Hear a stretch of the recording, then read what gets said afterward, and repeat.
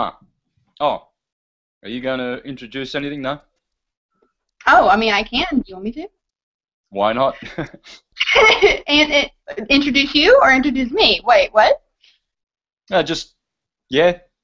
The show, syncretism, geocentrism, and astrology. Yeah. Hey, everybody. Thanks for joining. So, um, yeah, we have Santos Bonacci with us and our syncretism face group, face flat Earth group friends joining also. So, um, yeah, take it away. Thank you. Thanks, guys, for joining, and uh, great support last week, great feedback, and this is a continuation of last week's show. So this is part two, or really part three. This is the third of this um, group's syncretism, geocentrism, astrology meeting. Why are we having these meetings? Well, to correct all of the erroneous everything everything, all the pseudoscience, we're going to bring it into the realm of transcendental science, which is syncretism, geocentrism, and astrology. Astrology is the word of God. Astrology is the true transcendental science. Astronomy is the science of pseudoscience. You see, ever since Aristotle, they want us to divert our attention from the astrological transcendental wisdom and become mere mundane materialist speculators dealing with astronomy. Astronomy is for buffoons, just as the trivium is for buffoons. These logicians who think that logic and reason is going to save the day.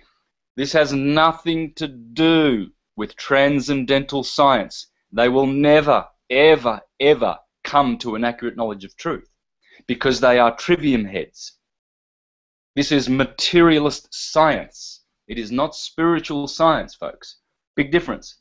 Major big difference. So we are here to correct everything. Everything is going to be corrected here in this group. This is a very special group, folks. So I thank you for joining me and um,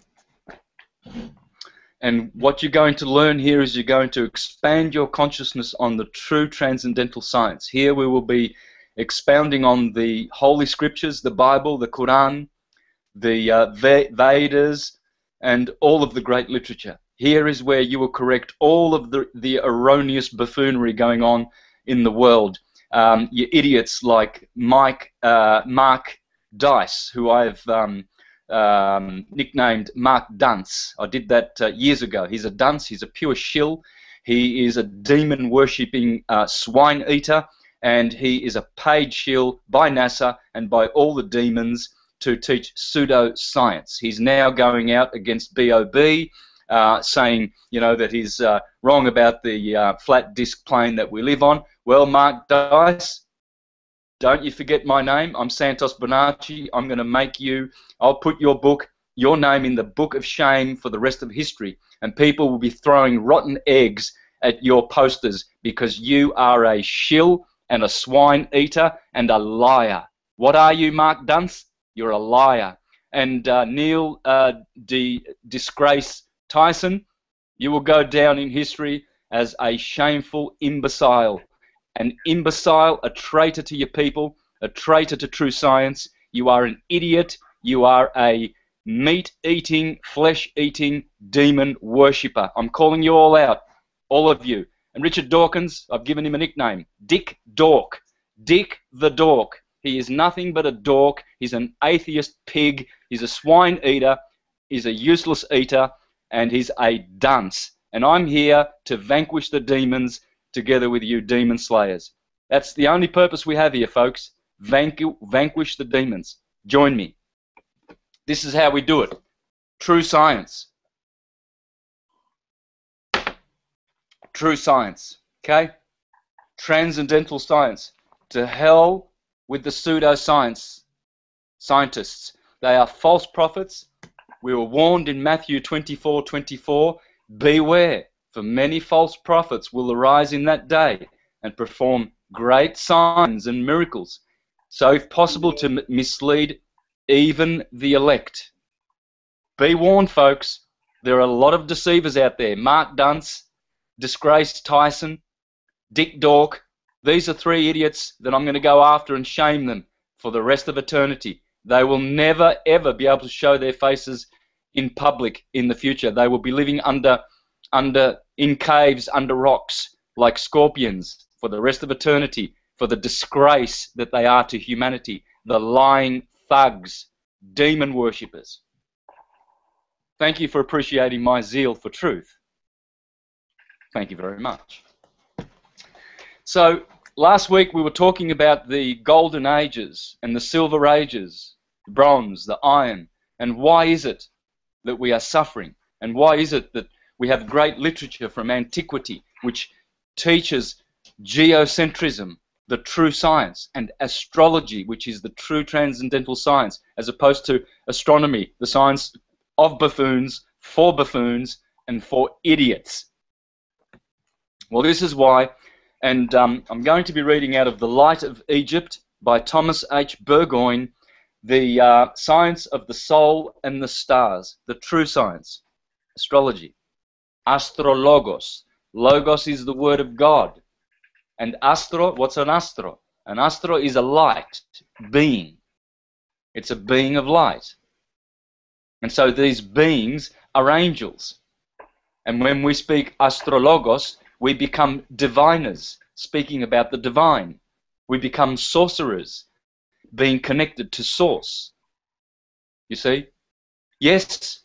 Oh, I can hear the voices already. Oh, yes, but astrologers are condemned in the Bible. Oh, yes, they are. Because they're idiots. Most of your astrologers are idiots. They don't know their science properly. And they do it for profit. And they do it for for um, fortune telling and all sorts of idiotic things. That's not what science is for. It's the Word of God. You see, Jesus condemned the lawyers. He did not condemn law. The Bible condemns astrology. It does not condemn astrology. It condemns astrologers. Astrology cannot be condemned because it's a language. How do you condemn Italian? I speak Italian. I don't believe in Italian. It's a language. I know it. I don't believe in English. I know it. I don't believe in astrology. I know it. It's a language. So excuse me for the emphasis. I'll probably, um, I don't know, maybe I had a good sleep last night and I've got extra energy, so little bit uh, extra zealous. I don't know, but I don't really care because I'm not here for a personality contest. I'm going to win the truth contest. That's the only contest I want to win. No personality, no that crap. That's for all the the Mark Dunces and the Dick Dorks and the disgraced, debunked Tyson idiots, the false prophets. So, guys, let us speak the truth from the rooftops.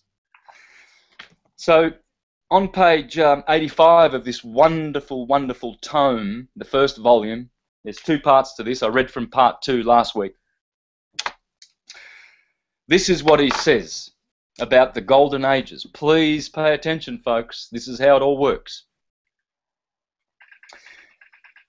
So, to this we reply human suffering is the result of innumerable laws. So the question was asked why human suffering? What's going on? Why is this? Why are we so in, in, in such a mess and we are so um, unconscious and we see uh, so much evil, wars and trouble and strife and problems that seem insurmountable, etc. Well, this is the reason.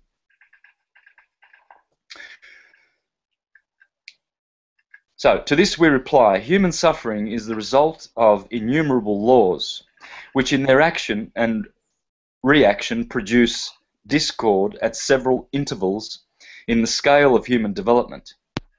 For all practical purposes, they may be classed under two general heads as primary and secondary. So we're going to have a look at the primary and secondary reasons as to why there is suffering.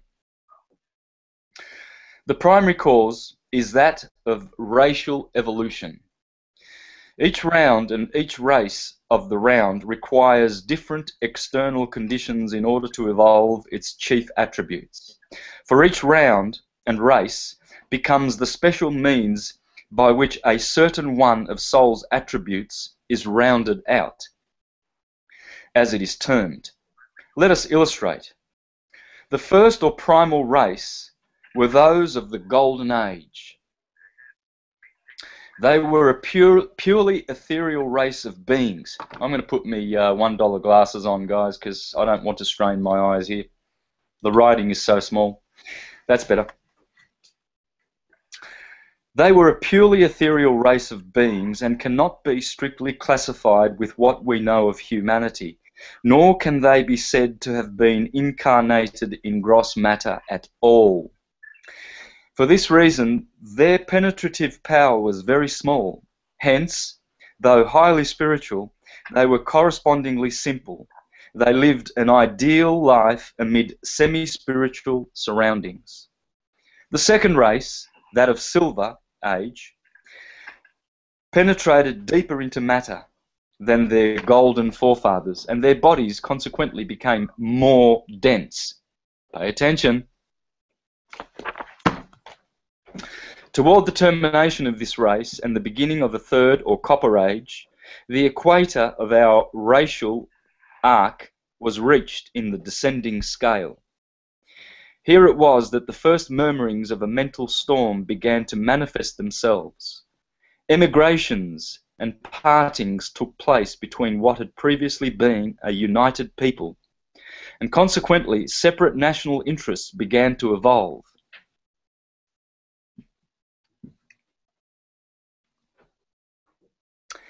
From the national was evolved that of the family. Kings ascended thrones, and sacerdotal systems were formulated. Sacerdotal means priestly. The strong began to assert their greater force, and the weak gradually sank into subjection. A still further descent, and we came to the fourth race, Sorry, did I mention the copper race? Yeah. So that was the copper race, um, where um, national and personal and family interests became prominent. Before that, no such thing happened. No immigration happened on the earth in the Silver Age. Everything was tranquil, tranquil and peaceful, etc. Uh, still a further descent, and we came to the fourth race, the bottom rung in the cyclical ladder, and fittingly known as the Iron Age. This was the turning point of the seven races, wherein the soul attains its greatest penetrating power. Spirit can descend no lower. Kings and their priestly counselors became true despots, and the masses and helpless and depressed. Next comes a higher evolution, the fifth race, beginning at the end of the fourth reaches up to the equinoctial line of the mental arc in the ascending scale, and consequently another stormy period commences. All is strife and turmoil. It is the struggle of the oppressed against the oppressor. It is not the gentle mental storm of the silver equinox, because the spiritual period of light had preceded that era but it is the storm of war and bloodshed, of a fierce democracy battling for the rights divine of man against usurped authority. It is thus because the Iron Age of oppression has preceded it. We are at the present day passing through this fearful equinoctial period. Now, he wrote in the late 1800s, so we've passed that period, guys. We are definitely out of this fifth age.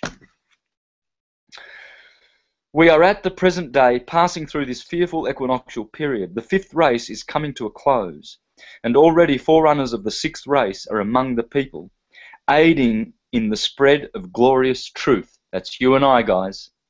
We are the sixth race, spreading truth on this plane. No wonder then that the signs of the times are so significant, and that a real interest in mental and spiritual science is rapidly reawaking within the minds of the masses. The secondary causes, so we've just gone through the first causes of all of the suffering, and that, that is external forces that we cannot control. The secondary causes are man's ignorance and the reactions of his animal nature. That is to say, man makes the conditions that are necessary for his progress by alternately struggling with and yielding to his animal desires. But for this nature and the experience the soul gains thereby, material incarnation might be dispensed with. The state of suffering depends upon the race, as before stated, but the effects of that suffering are in exact fulfillment of Mother Nature's requirements. Mighty causes produce mighty effects, results, let us say, and vice versa. This law is absolute. Every spiritual atom of life is the direct result of a cause. These atoms differ in power and potency as the stars differ in magnitude. Nature's aim is not equality. In spite of the apparent fact that all forces are ever striving for equilibrium, her grand soul, her grand goal, rather, is diversity. Nature's end, then, is the very opposite of equality, for the grand ultimate aim of every force is the production of variety, and the only real difference in any of her infinite number of parts is that of polarity. For instance, the only difference, yeah, leave it at that. Okay, so if that's not very clear, um, we can make some, we can uh, formulate some questions now, perhaps write some questions questions for later on, please, so that we can go through this material as quick as possible. So there's the uh, two reasons for all the suffering. Okay, so we've got the animal nature of man, and we've got basically the um, the nature of the universe. The universe goes through cycles, the golden age, where bodies are ethereal. Bodies are, are, are, much more, are much less dense than the bodies that we have of um, flesh and blown, bones and blood that we have now. And so we are beginning to see that cycles dominate our plane. Okay, so the science of astrology, folks. I have often presented the um, the great works of Marcus Manilius, one of the greatest astrologers of antiquity, 2,000 years ago astrologer to Caesar Augustus. In my works, in my presentations, you will find me quoting from this book many, many times. So, at the beginning of his great work, um, the uh, Astronomica by Marcus Manilius, this is how he introduces this beautiful work of great astrology. Deeper knowledge of heaven was first granted to earth by the gift of the gods. Not God, not the creator, the gods. Please pay attention, folks. Now, these are not, these are, all the gods are expansions of the one creator. We also are expansions of the one creator. This does not mean that there is anything impure in this science. It just means that the gods do the work of the God. So the demigods are always in service of the creator, folks. Never are they not in service to the Creator. The only ones who do not serve the Creator are the demons. There are demigods and demons. Look around. That's all there is. We are the demigods. We are the heroes. The demons teach pseudoscience. Mark Dunce, Jan Irvin, Danny Wilten, Johan Oldenkamp, just to name a few of the dunces who are materialists. Oh, and throw in George Neo from Magpie House. They're all waiting for the Galactic Federation of Clowns to come and save us. That's why you shouldn't necessarily worship any of the demigods. Like in um, in the Hindu cultures, um, I feel like they worship them, and I they're, they're not to be worshipped. Isn't that correct? Exactly, sister. Only we should worship the Creator. Only, only, only. Hare Krishna. Let us not be fools and give our energy to demigods. But the demigods serve us. We don't serve angels. Remember the apostles. The apostle at St. John, when the angel came and he bowed down, he says, You get up. You get up, man. You don't do that to me. And this is why I do not accept any kind of reverence to anything other than the divine source creator. That's me. I don't I don't know what others feel like. They might feel like uh, you know paying reverence to Ganesh, to Brahma, or hmm. anyone else. To me, I'm a Vaishnava, as as can be seen by my uh, Tulsi beads and my Tulsi beads. This is an indication of one who is devoted to Vishnu, Krishna, and who is a Vaishnava, and who only accepts transcendental science. This science. Thank you, uh, Summer. Yeah, no problem. Yeah, uh, jump in, guys, if you want to contribute. Please, please contribute. This is this is not just me here, folks. This is interactive, and um, this is for the purpose of correcting all things misplaced, misunderstood, erroneous on this plane. We are here. We are demon slayers. That is our job.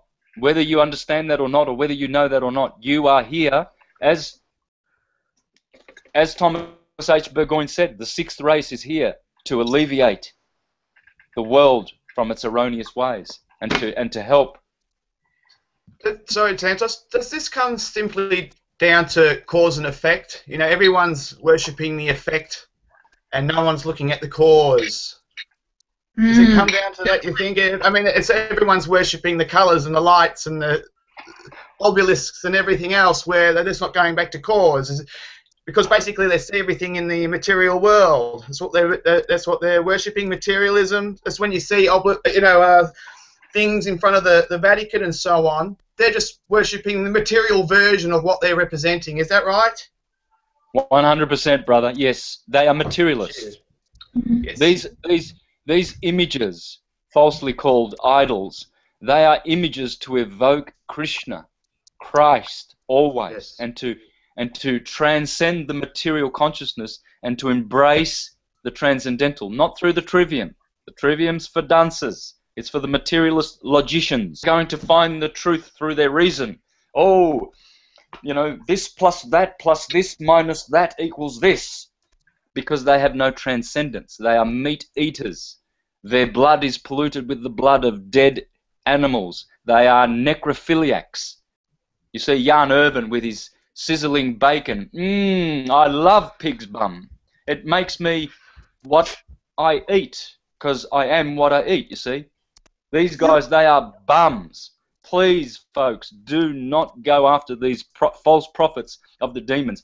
Ask yourself, is that so-called truther a meat eater? If he is, turn your back. You will be fooled by demon worship. Mhm. Meat eaters cannot teach truth. They will only teach half truths because they are speculative philosophers. They know not the transcendental science. They have not connected with the source. This goddess side of their right brain, this Lakshmi, Radharani side, has not been balanced with the Krishna side. Here is the logic and here is the reason over here. But without the intuition, they're lost. they are stuck in a crystallized, material, mundane, literalist mindset. Run away from these. They are Mayavadis. Mayavadis are false teachers. You will only be led to the truth through syncretism, geocentrism, astrology, and transcendental science. Metaphysical science. Not material science. It's pseudoscience. That's why you can get these buffoons like deGrasse who will sit there going, oh, the Earth is an oblate spheroid. It's pear-shaped. You know, and he does all these dunce Illuminati. Well, I shouldn't say Illuminati because that's a beautiful word. I, I hate when people use that word in a bad way. Please let's correct this. It's not the Illuminati. The Illuminati are good folk. These are demons. They are not illuminated. Mm-hmm. They are idiots. They're animal murderers. They teach people to go to McDonald's and eat butchered animals to practice necrophilia so that they can reincarnate as swine and be eaten by swine in their next incarnations. Folks, it's time to correct all the erroneous lies, and that's what I'm here for. Rest assured, I'm here for that. There's no other reason why I'm breathing. So, deeper knowledge of heaven was first granted to earth by the gift of the gods. They gifted that to us because they serve Krishna. For who, if the gods wished to conceal it, would have guilefully stolen the secrets of the skies by which all things are ruled?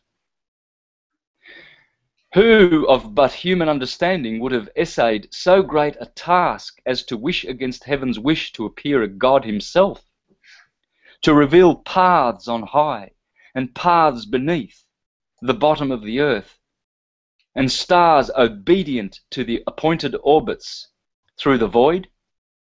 You, God of Cyllene, that's Mercury. Mercury is the messenger of the god.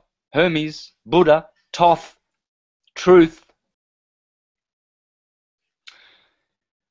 are the first founder of this great and holy science. Great and holy science. Holy are the stars, folks. All of those stars you see up there and the seven wandering stars and luminaries, they are holy. They teach and transmit the science of universal mind thinking. Through you as man gained a deeper knowledge of the sky, the constellations, the names and courses of the signs, their importance and influences. That the aspect of the firmament might be enhanced, that awe might be roused, not only by the appearance, but by the power of things, and that mankind might learn wherein lay God's greatest power. Moreover, nature proffered her aid and of her own accord opened up herself, deigning first to inspire those kings whose minds reached out to heights bordering on heaven, kings who civilized savage peoples beneath the eastern sky where the stars returned to view and soar above the cities of the dusky nations. Then priests, who all their lives offered sacrifice in temples and were chosen to voice the people's prayer, secured by their devotion the sympathy of God, their pure minds were kindled by the very presence of the powerful deity. And the God of heaven brought his servants to a knowledge. Shite! Hang on a minute.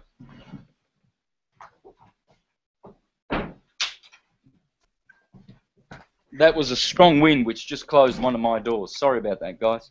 That was the Big Bang you heard. Uh, the Big Bang theory. You know, all of these, all of these theory teachers. Let's get off the theories. There's no more theories. There is only absolute truth. Big Bang theory, evolution theory, theory of relativity, the the gravity theory. I, it, Newton never said it was true. He said it's an hypothesis. Copernicus said, well, let's have a look, see. What, shall, shall we? What did Copernicus say about his... Uh,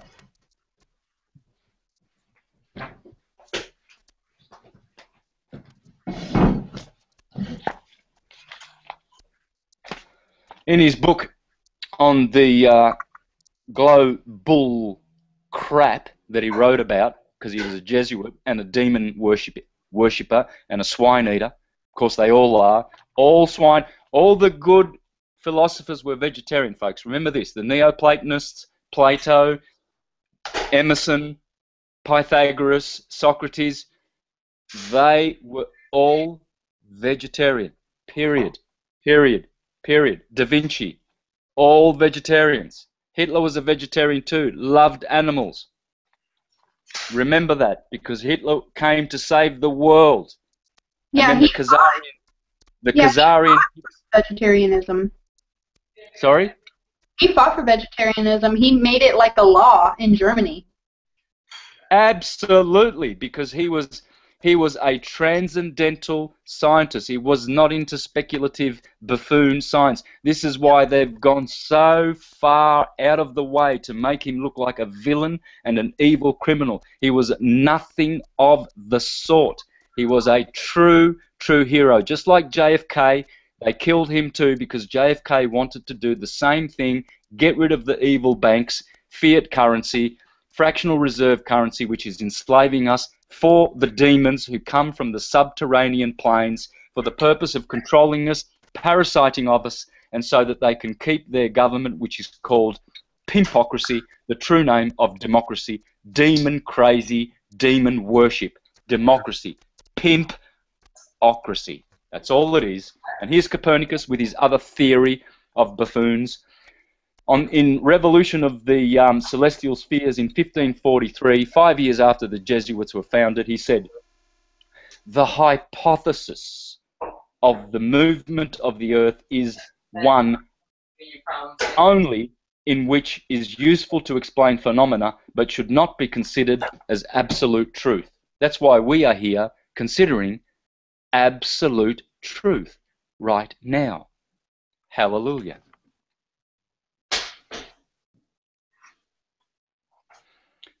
So, continuing on, guys, because this is these are the real God worshippers. Astrologers are not atheists. They're not astronomers. They are astrologers. Transcendental science is the worship of the Creator. Astronomy is the worship of buffoonery, of idiots, meat eaters. Sorry, guys, I get a kick out of repeating all of these things because I'm going after, I'm going to slay the demons, and you'll help me, and we will all band together against demon worship, and we will knock these idiots off their soap, soap boxes, these Mark Dunces, and we will put them in their place, if not in jail. That's where we'll put them in jail for uh, for um, taking advantage of the credulity and the gullibility of the masses.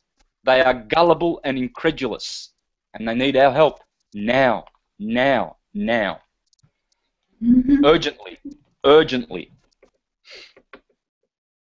But long ages sharpened human wits, the struggle for survival. Uh, anyway, look, that's enough. Um, oh, hang on. No, I was in the wrong place.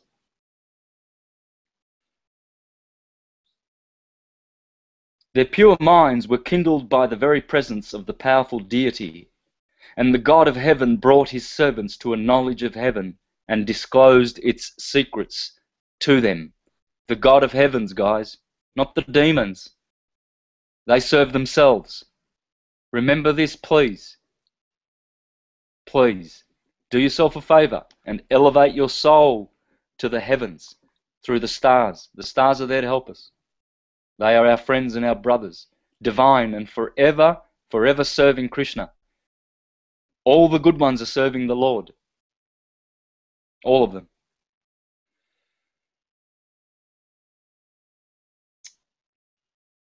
So, these were the men who founded our noble science and were the first by their art to discern the destinies dependent on the wandering stars.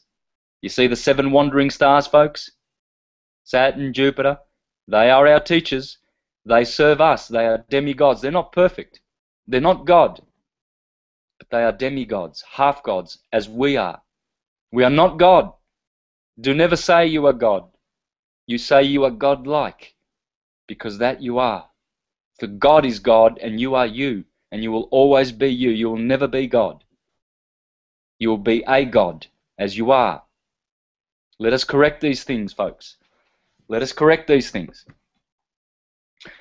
After every aspect, so embracing long ages in unremitting toil, they assign to each period of time its particular events, noting an individual's nativity, the birth chart, and the subsequent pattern of his life, the influence of each hour on the laws of fate, and the great differences effected by smaller moments. After every aspect of the sky has been observed, as the stars return to their original positions, and each figuration had assigned to it its powers of influence and accordance with the sure cycles of destiny. By repeated practice and with examples pointing the way, experience built up the science, and from wide observation discovered that by hidden laws the stars wield sovereign power, and that all heaven moves to the eternal spirit of reason, and by sure tokens distinguishes the vicissitudes of fate. Marcus Manilius. Okay, remind me next week I shall read some more from here. Moving on. Plutarch. Now, Plutarch was not a Neoplatonist. He was in the middle, in the first century, around about the time when the supposed historical Jesus lived. This guy wrote 85 books, and Jesus didn't write any. Hmm. So one would be historical, the other isn't, because the other is the eternal Jesus that dwells in our hearts, folks. There's no mundane history, and even if there was, it's dead. History is dead. You can never bring it back to life. Never. It's gone. There is only now. So it doesn't matter whether Jesus, whether you think he, in terms of the Jehovah's Witness Jesus or the Mormon Jesus, it's gone. There's only one Jesus, and that is in you, and you will never be able to extricate him from you. And it is the Messiah and the leader of the way. So, in Obsolescence of Oracles, the Obsolescence of Oracles by Plutarch, he was um, in the first century, so he was after Plato by four or five hundred years, and before the Neoplatonists by 300 years. But this guy was vegetarian, of course, otherwise I wouldn't be reading from his books. I will only transmit information from transcendental vegetarians, geocentrists. I will not be polluting your mind from the minds of polluted worldly speculative philosophers a la Descartes, a la Hegel, Darwin, Newton, Copernicus, Kepler, Aristotle, and all of these idiots. Einstein, a buffoon, a monkey man. Nothing but monkey men. And they come from monkeys, sure, and they'll go back to monkeys in the next life to be eaten by monkeys. Others postulate a transmutation for bodies and souls alike. In the same manner in which water is seen to be generated from earth, air from water, and fire from air, as their substance is borne upward, even so from men to heroes, and from heroes into demigods, the better souls obtain their transmutation. But from the demigods, a few souls still, in the long reach of time, because of supreme excellence, come, after being purified, to share completely in divine qualities. But with some of these souls, it comes to pass that they do not remain maintain control over themselves, but yield to temptation, and are again clothed with mortal bodies, and have a dim and darkened life, like mist or vapor. You see, brothers, it's telling us here that we are heroes. We are to be heroes and demigods, and transmute and sublimate our soul qualities. But some, it says, they yield to temptation. These are the monkey men who are teaching pseudoscience about a globe and gravity. Hocus pocus buffoonery. Macrobius, Neoplatonist, 400 years after Plutarch, vegetarian. Of course, you ain't going to get nothing but vegetarians from me, brothers.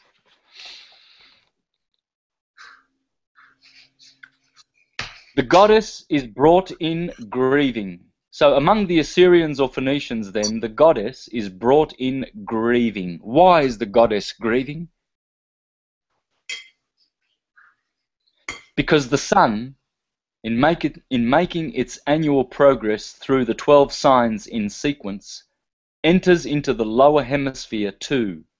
Lower hemisphere meaning, meaning the outer plane. Of course, who knows? These guys, I, I believe the Neoplaton Platonists were tampered, their books were tampered by the Jesuits. They rewrote history, guys. And so they they actually put global crap in their writings to confuse us. But these guys knew we lived on a on a disc plane. Six of the zodiac signs being considered upper signs, six of them lower. And when he is among the lower signs, the sun, of course, therefore makes the days shorter. The goddess is believed to mourn, as though the sun has been for a time snatched away by death, and is being kept by Proserpina, who I have said is the divinity of the earth's lower zone and the people who dwell there. They believe that Adonis is again restored to Venus, and Adonis is the sun, folks. Never forget. It's always the sun. Krishna, the sun. Jesus, the sun. Adonis, Apollo, the sun. All is the sun. The sun is the hero. Samson in the sky. Shimshem, the little sun. Abraham, the sun. Brahma, the sun. You name it, it's the sun. the chief life giver. It's always the sun. because the sun is the, the chief expansion of Krishna. Vivasvan, Surya, Ahura Mazda, it's always the sun.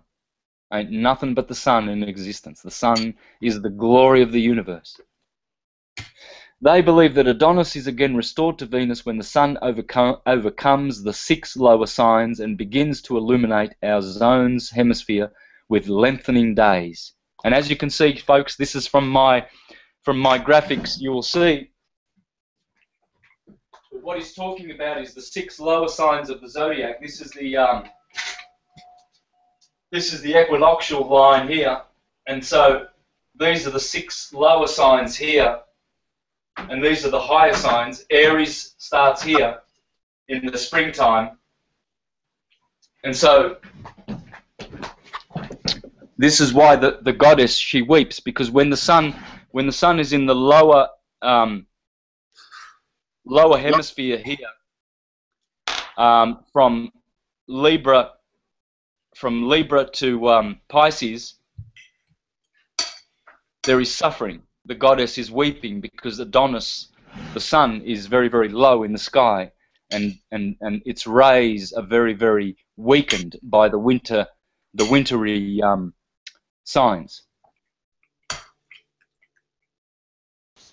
They say, however, that Adonis was killed by a boar. Yes, so was Tammuz. So was Nimrod. All of the sun heroes were killed by a boar, a wild boar because it's the boar of winter. And the sun gets murdered and slaughtered on the 25th of December. St. Thomas Day, St. Tammuz Day. And this is where the sun is slaughtered by a boar, an animal, because it's an animalistic thing. Using that animal to represent the winter. There you go. Because the boar being shaggy and rough, delights in places that are damp, muddy, and covered with frost, and it forages for acorns, the quintessential produce of winter. Winter, then, is in a sense a wound inflicted on the sun, since it robs us of light and heat, a loss deadly to living things. Okay, folks, you see, this is the true science. This is this is teaching this is teaching us the cycles that we live in. They are cycles, and the sun goes in and out through these cycles. And so this is why astrology is so important. And in my presentations, I have always showed how we can use the science to be able to um, to be able to understand all things. Here is a book called uh, Dance of the Zodiac by um, William Schreiber, and I've often presented this. And he goes he goes into all the astrological signs to show how you can recognize the features of the signs, and you can tell and distinguish all the individual signs. Here is the sign of Capricorn. Clearly, you can see the Capricornian features because the sun on the ecliptic produces all these different features. Let's have a look at some of these features, shall we? So, physical traits. Capricorn rules the knees and the skeletal system. There are 12 systems in the body. Aries rules the cerebral spine, the cerebrospinal system. Taurus rules the uh, um, lymphatic system. Gemini, the next sign rules the lungs, the twins, the two lungs, the breathing, the respiratory system. So Capricorn rules the skeletal system. It's quite easy to understand. We are the temple of soul of man, Solomon. The cardinal earth forces of Capricorn are contained and centered in the knees, the part of the body ruled by this sign. At these bony joints, the high-stepping centaur thighs turn to the back. To planet to planet the feet firm to plant the feet firmly on the ground, with their knees to the front. Capricorn's knees carry them steadily Someone needs to uh, mute their mic. There's a bit of noise there in the background. Um, the resulting body mechanics send the butt to the back as it tilts in the upper torso and the head first. That's what he's talking about there. Um, the body rulership, so this angle points the head down to the ground. The eyes must be aimed upward so that the goat can see the craggy peaks that lie ahead. This bodily rulership greatly defines this creature's physical features, as Saturn's constraining energies reduce the size of the body parts. The extremities, like those of the crab, are thin and short. Unlike Cancer, the torso and the shoulders are also minimized. These goat-like features are prominent in the makeup of Anthony Hopkins and James Earl Jones. Both have Capricorn suns and rising signs. Jones also has the Capricorn moon. This triple earth accounts for his deep resonant voice. Both display the deep set eyes and the eyelids that wrap to the sides of the face, the wide cheekbones, the long dipping snout, and the large thin-edged upper lip plate. It, the features are clear, guys. The signs tropically can be distinguished only through the Western tropical hermetic biblical astrology which I teach. This does not work in sidereal. Sidereal is out of whack. This is why when you see people who go with the sidereal system and they say, "Oh, I'm a I'm an Aquarian," Aquarian, and clearly they have Piscean features because it's out of whack. Mhm. I um I don't have that book, Santos, but uh, just from watching your presentations, um, I've been able to call them out nine times out of ten, every single one. Yeah, you can always. Hey, um, Summer, um, have a bit of a chat for a minute. I've got to do something. Just be back in one minute, please. Uh, continue on, folks. Back in a minute. So, um, I just saw the movie Star Wars in theater with my grandma because she wanted to go see a movie with me, and um, I don't know if anybody has seen that, but I noticed the subliminals in there of uh, one of the, the the weapons of mass destruction that they were using is that they were sucking the sun's power um, and harnessing it to basically end the world, and it backfired on them. And uh, it just it just it was just interesting all the subliminals in there, and especially the previews that were um, that went on before the movie start. Um, uh, X-Men Apocalypse that was really frightening. like, um, I don't know if they're just trying to mess with people's heads, but um, I already just like doing normal mainstream uh, society stuff. I just don't feel right. I feel really uncomfortable.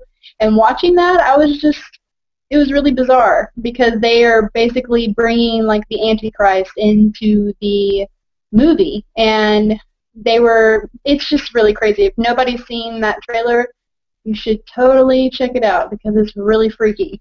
It's really, really, really, really weird. Really weird.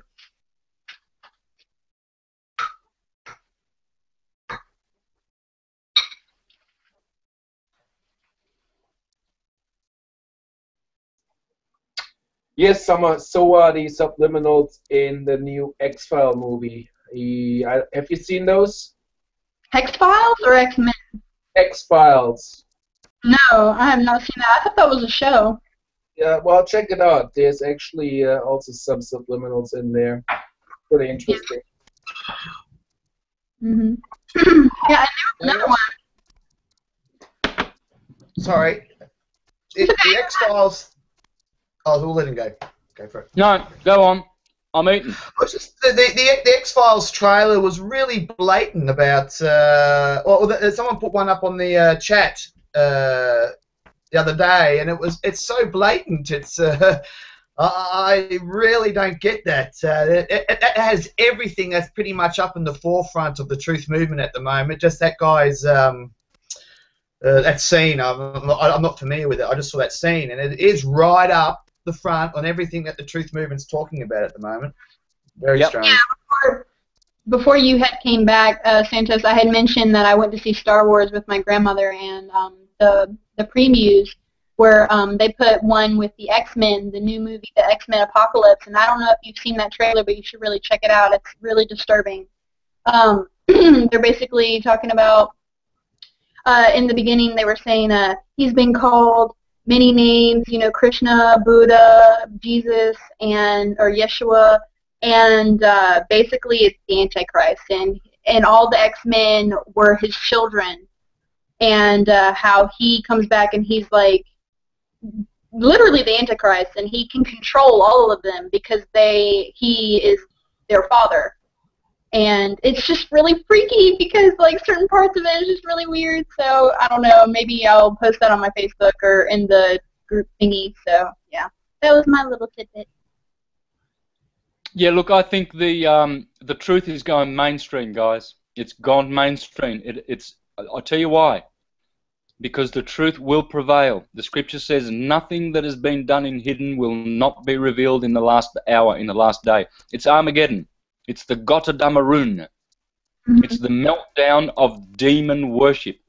Demon ver- worship is being vanquished by all the good people in the world. Not only us who are down here at at um, you know the um, the front lines, but also the ones who are behind. This is why people get confused. You know, they get confused with they say, oh, things like okay, here's an example. There's a guy out there doing videos on the flat Earth and um, or, or, or against the flat Earth, saying that it's it's Freemasonic. It's a free Freemasonic psyop. No, no, it's not. No. Of course, flat Earth. Of course, the Freemasons have have their um, teaching of flat Earth. They all do. Christians do. It's in the Bible. There is no there is no ball anywhere. There never has been a ball. So of course the Freemasons are supporting flat Earth. Of course the Jews are. Of course the Catholic Church is. They supported it for thousands of years until Copernicus came along, and then Galileo Galilei, the idiot, who said "E pur si muove," "E pur si muove." Mhm. Those are the famous words that all these idiots quote. Oh yes, well it moves because Galileo that was his last words before he, he recanted, and the church allowed him to go on, and now we accept that it's a ball. Mhm. No, no one, no intelligent person have ever, has ever accepted it to be a ball. Only idiots. And I was an idiot for accepting it myself. I'll admit that. But never again, never again will I fall into this stupidity. Time for truth and only truth. And so all these, all these half-truthers, again, they're eating too much meat. They're doing a good job exposing the, the, the, the lies, but they're polluting it with, with demon teachings. You see? Here's another one. You get all these goody-goody two-shoed Christian people, you know, saying, "Oh, it's a flat Earth, of course," and and and and, and the atheists are teaching the globe, which is true, and then they, and then they turn around and say, "And this is because we are unique, and there's only one universe, and we are the center of the universe." No, we are the center of this universe. Everyone else is in the center of their universe. Let us not limit the Creator to one universe. So these churchgoers again promoting filth and stupidity, limiting God. Why would we limit the Creator? The Creator can make endless, infinite universes, and He does. And so it's time to correct everything, and that's what I'm here for. I, I, I'm not going to tolerate. Santos, may I ask a question, please? Yeah, Would you consider would you consider that even the creator has had enough that he actually said, okay, this is enough free will. You guys really went against every natural law which I have been putting out, and this is enough. 100%, mate. It's all coming from Radharani and Krishna. They are sick of it. It's time. It says in Bhagavad Gita, it says, when demon worship prospers, and people follow the demons and it's it's too much, I'll come in and smash the demon hordes. I posted it on my Facebook page two days ago from Vam, uh, Vamsi. Check out Vamsi's work, guys. Go to um, is that is it, did I say that right? Vamsi? Or Vam- yeah, I know what you're talking about. B A M S I. Yeah, it should be. It should be in this call. It should be in there. Vamsi uh, m- uh, quoted Bhagavad Gita, where Krishna says, I, "I come to vanquish the demons." When everybody goes following the demons, That's I come the and stalk it out. Yeah, they talk about like the four horses, and it's green, white, um, red, and black one. And uh, but the thing is, like from the previews, is the guy is the Antichrist. So it's like it's it's polluting your mind with their BS because it's supposed to be like some some saving the day, and he's basically using the X Men to I don't know. Maybe that was just a misleading ad and it was it's really he's the good guy but i don't think so it really was depicted very demonic and it was really i felt uncomfortable i was like okay this is gone a little too far Yeah, yeah. Look, um, you got to understand that the people in Hollywood, and I imagine that some of the people that I quoted at the start of this uh, call and called them out for their shilling, um, they they also are under threat. I mean, they make their livelihood from spewing and vomiting lies all day long, and they work for NASA, and they, they are a psyop, and they get paid well to act intelligent and tell us that the Earth is pear-shaped when clearly the CGI Disneyland NASA cartoon images of the Earth are perfectly spherical. And so they're trying to screw with our heads. They're trying to make us all confused and, and, and, and just led about like sheep without a shepherd. We need a shepherd. We need a shepherd, and, and, and the shepherd is syncretism, geocentrism, astrology. That's the true shepherd. We're going to bring people back to the truth, man. That's why we're here. No more time for farting around with pseudoscientists and these idiots. Call them out. Knock them off their soapboxes. They're morons. They are destructive to themselves and to the rest of humanity. So it's our duty. We are demon slayers helping Krishna slay demons. They've got to be vanquished from this plane. We have no other thing to do, guys. We are warriors. There's nothing else to do. There's no jobs. There's no corporate ladders. There's no Joneses to keep up with. That's all a crock. That's all an illusion. Our true destiny, our true calling was to vanquish the lies. And we do it with our hearts. You see, the, the logicians, the, the trivium dunces, they're stuck in their brain. They're not, they're not, they don't understand trans, transcendental science which comes from the heart. It doesn't come from this matter here. It comes from the heart. We have opened our hearts.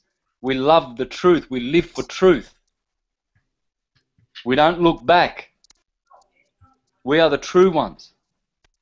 Continuing on, because I want to do one or two of these every week. Okay, so we can get the true science in us.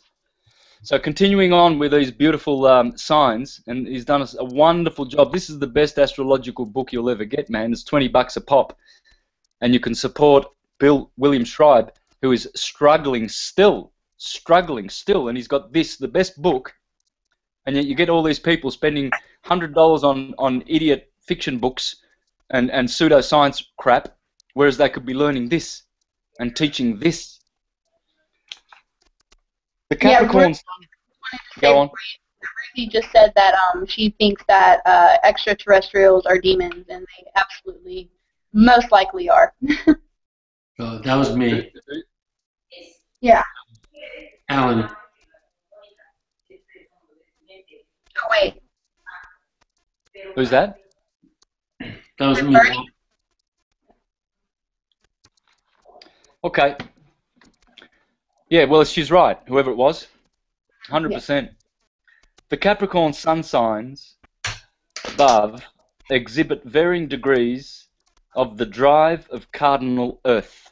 They're very cardinal Capricorns, real climbers.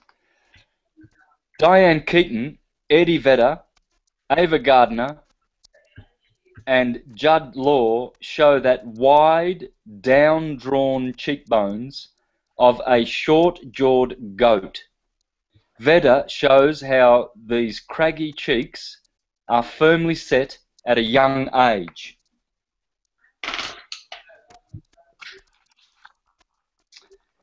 That's why younger goats appear so serious and why they mellow and appear younger looking with age. The long-faced version of this sign includes... Okay, out come the glasses. Ted Danson, Denzel Washington, and Nicolas Cage, the long-faced version. There's always two or three versions, okay? And you'll see it. You open your eyes. That's all you have to do. Goats in a happier mood will often present the tight smile with the twisted snarl on each on one side.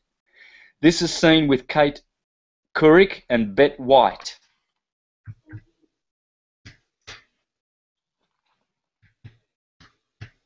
In the sparkling crystal eyes of Sissy, Spacek, Sissy we see the contentment of a soul who has reached the top of a mountain. Okay, so that's just a brief, you know, um, description of the features. I'll do one more. Let's try Aquarius, shall we? Or anyone want to pick a, pick a sign? Libra. Libra. That's my sun's sign. Yep. Yep, Libra, Aquarius. Aquarius. We'll do that next week. So today we've got Capricorn and Libra, the two cardinal signs. So here we go. Have a look at the beautiful round features. Everything round, balanced. This sign makes the best, according to Bill William, the best supermodels come from this sign because their bodies are their bodies are straight, balanced. It's the balance, the roundness of the head. Everything's round. These people are in the mind. They, you know, um, all of the singers from this sign, like John Lennon, uh, Bruce Springsteen, um, they they all all the mental all the air signs, Gemini, Bob Dylan, they're all political. They all talk about mental themes. You see, John Lennon, he was a hero Mhm. because these guys these guys love justice. They love truth and balance, and and in their songs they don't go on, you know, emotionally like the water signs. Cancer, for instance, you know, crying that their their girlfriend left them, and these guys don't don't sing about those things. They, they have they have um, justice on their mind and humanitarian themes. The, Aquarians, especially. That's what they'll sing about. You you know, um, uh, Tim Buckley, an Aquarian. All about saving humanity. All about humanitarian themes. So get to know the signs, folks. Get to know your brothers and sisters through their sign because they are conditioned by those elements. They are conditioned by those beautiful signs, the 12 tribes of Israel. These are the 12 tribes. I belong to the tribe of Gad, Aries. Gad is God because God is here, up high, elevated in the heaven head heaved up. So this is the tribe of Gad. This is the tribe of Asher, Taurus. And these are the two signs, the lamb and the bull. The lamb of God, Jesus, and the bull, Krishna with his bulls. And they and, and the head directs the body. So they are the, the horned signs and they lead the body. So Gad, God leads the body. the rulership of body areas started at the head in Aries. Appropriately, when we reach the midpoint between the head and the feet, we are in the region of the body ruled by the opposite sign of Aries, Libra. Here, the lumbar and the kidneys make up this arena of rulership. Also, in some traditional listings, this rulership includes the surface of all the skin. So you can see Libra rules the um, the um, what's the dermatological what's the, the, the skin called the um, system Integumentary. The integumentary system. right? I'll leave it at that. You said. Okay. yeah, I have no idea. Epidermis. Yeah, and they and they and they they usually either have skin problems or good skin. hmm My son's Libra, and he had eczema. Yeah. And it was easily treatable, but they they are prone to these. And Geminians also get a lot of eczema.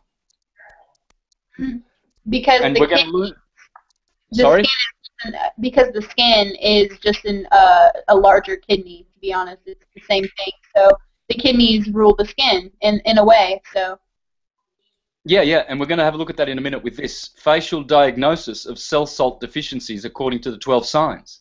Okay, so yeah. there's there's there's a lot more to come, folks. Every week we're going to be doing astrology, flat Earth, geocentrism, syncretism. You're in the best. Oops. You, Sorry. you you you are getting the best transcendental science on the planet, bar none, bar none, none. Also, in some traditional listings, this rulership includes the surface of all the skin. These rulerships account for Libra's perfectly proportioned features, their creamy, smooth skin, and their easygoing, well balanced mannerisms. Thank you, Summershine. As Librans glide across the floor, their bodies seem to be perfectly erect. The hands are held low with fingers pointing to the sides, arms moving in and out to teeter the torso left or right to maintain the balance. Many people with this sign seem to walk like they have a, a, a book balanced on their head. Perhaps this is why so many of them are fashion models. The body is full and rounded like a cumulus cloud, light but not necessarily lean. All sections of the body are evenly proportioned. The head often appears slightly larger than normal. Now we're going to have a look at these two, Barbara Walters and uh, Jimmy Carter. Barbara Walters and Jimmy Carter are both Librans with Libra rising. In their bone structure and facial features, the archetypal shapes and qualities of Libra are enhanced since the solar expressions and the mask are one and the same. There is no filter to slow their rapid delivery of words. They both say what they think. And you'll see they do. They they're very, very they're the life of the party, Librans, the life of the party. Very sanguine, which is one of the four um, qualities. You've got your choleric, uh, say your Librans and your and your Leos. You've got your um, melancholic and sanguines, which are Librans, um, and then you've got your phlegmatics, etc. So, so um, what he's saying here is that since these two have both rising and sun, uh, he mentioned the the mask here. Well, the mask is usually the rising sign. So my rising sign is Leo, and that's the mask I put on. So I'm acting through my feline Leo um, mask personality. It's more like the personality than anything else. Whereas the sun is everything. It encompasses the whole lot. Your soul, your spirit, everything. Every archetype is the sun. The moon is more like the soul and the reactive nature. So my Pisces moon is, you know, there's two, there's a believing side of me and then there's a doubting side. And sometimes I doubt very much. And it's a very powerful sign for the moon. It's very emotional. And you're always going like this. One day you believe in yourself and the next day you doubt yourself. And so, and so the Um, moon is a my- react. is rising, so I feel you there. Which one? I said my rising is Pisces, 29 degrees of Pisces, so I feel Okay, you. well then, well that's that's your your mask more so than your reactive nature. Your moon will be the reactive nature, but your mask is Pisces. So your your um um the way people see you is through that mask, and so they see sometimes a doubting summer, and then they see a very confident summer, and so this flip flopping is going to be going on because it's your ascendant. Your rising sign has two natures about it. One fish is rising high, the other fish goes downward and doubts. Okay, so continuing on. These Libra sun signs exhibit varying degrees of the equaling force of the drive of cardinal air. Kate Winslet and Will Smith both project Libra's calming force. Uh, where are they? There. And who was the other guy I just mentioned? Um, Will Smith. Okay, the calming Libran nature. even in the most titanic and catastrophic situations. Cheryl Tiegs, Gwyneth Paltrow. Oh, gee, I got Kate Winslet wrong before, didn't I? Where's Kate? Oh, there she is over there. Sorry, guys. These two were the first two. I don't watch a lot of movies. I got better movies going on in here and in my heart than all the movies of Hollywood put together. Oh, it's a waste of time. Movies are a waste of time for me. They're just so boring all the even the exciting ones, you know, they're just they're so dumb. Hollywood's a crock. You, you can sit in meditation for five minutes and you can make a billion movies a trillion times better than anything Hollywood has ever put out. Ugh, whoa, what a waste of time. Um, Gwyneth Paltrow and Annette Funicello, with their ever-present smiles, present the natural beauty of Venus influence. Venus is the ruler, whereas Saturn was the ruler of Capricorn. John Lennon and Dwight Ike Eisenhower showed their persuasive drive in peace and war. President Ike, along with Mickey Mantle, Kelly Ripa, and Matt Damon, strongly display Libran's recognizable facial features.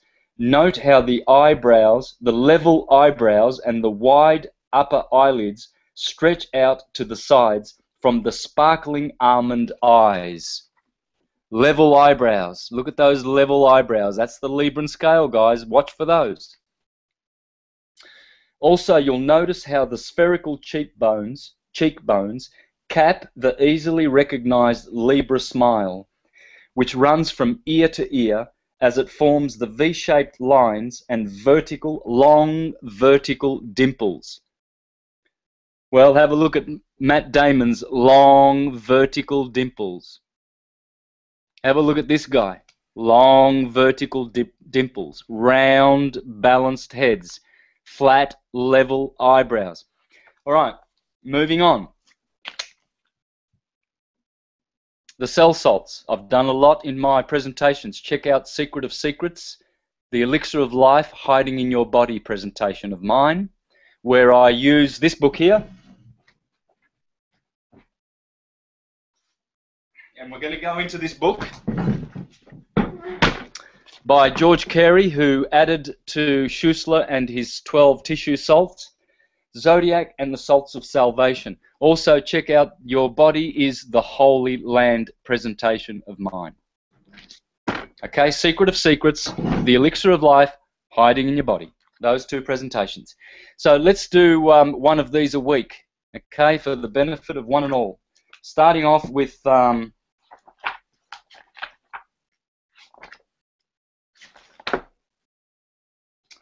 Cancer, I think. Yes, cancer, the sign of cancer, folks. These are the deficiencies of cancerians. Uh, calcium fluoride. You heard it. Calcium fluoride is the tissue salt for cancerians. Sodium silicofluoride, that's the poison they put in your toothpaste. That is poison. You see, this is why the elite controllers are very, very astute and clever they know that we don't do our homework, so we think, oh yeah, fluoride's good for the skin. It's good for the teeth for sure.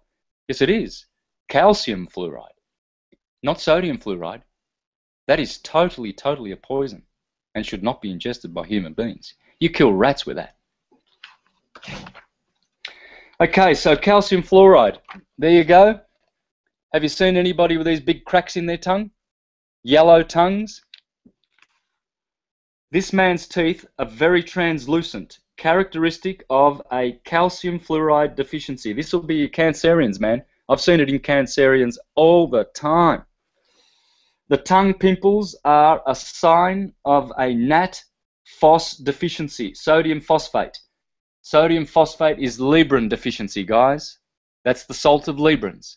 Now, how do we know this? Well, because George Carey did many, many clinical tests on lots of patients and he found the truth, the universal truth, that every sign is deficient in three salts. Me being Aries, I'm deficient in Aries, Taurus, and Gemini. So I need potassium phosphate for Aries. I need sodium sulfate for Taurus, and potassium chloride for Gemini. I must take those, and I do. In fact, I'll show you.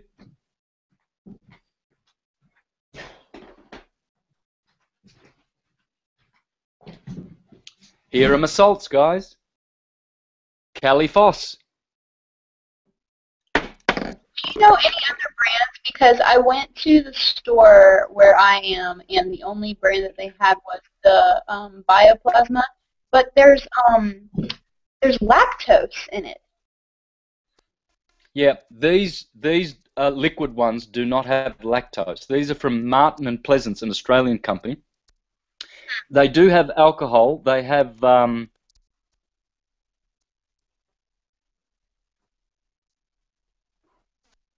okay.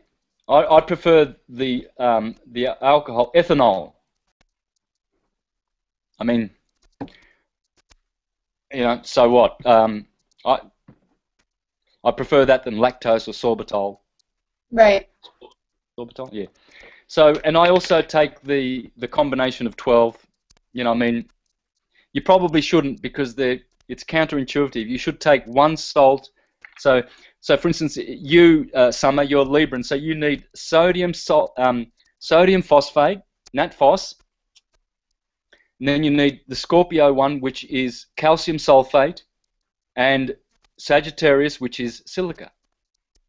Calcium And if you sulfate. sorry. You said calcium sulfate. I'm writing them down. Yeah, yeah, calcium sulfate for Scorpio. Silica. Okay. And Sagittarius is silica, yep. Can you just get a really good sea salt? Yeah, man, yeah, yeah, just take massive doses of Himalayan salt and Celtic sea salt, man. I just put a tablespoon every time I go past my um, salt jar in the kitchen. I Yeah. just I, I mix I mix the two together, um, Himalayan salt and Celtic sea salt. I mix them together. I grab a, a, a teaspoon, put it in water, and just gulp it down. I love salt. It is it is electrical charge. Your body needs electrons, minerals. You can get it from salt. It is voltage. All your body is looking for is voltage. You can dispense with food, man. Stop stop worrying about all this food stuff. We're eating like gluttons. I, uh, I've been doing the same thing. Just just putting the good salt in there, the good Himalayan stuff, getting the best stuff I could find, and uh, uh, I I have the your health book, and I didn't read it yet. So I said, well, in the meantime, I might as well just, you know, dump everything in there so I can uh, cover all bases. hmm Yep, done well.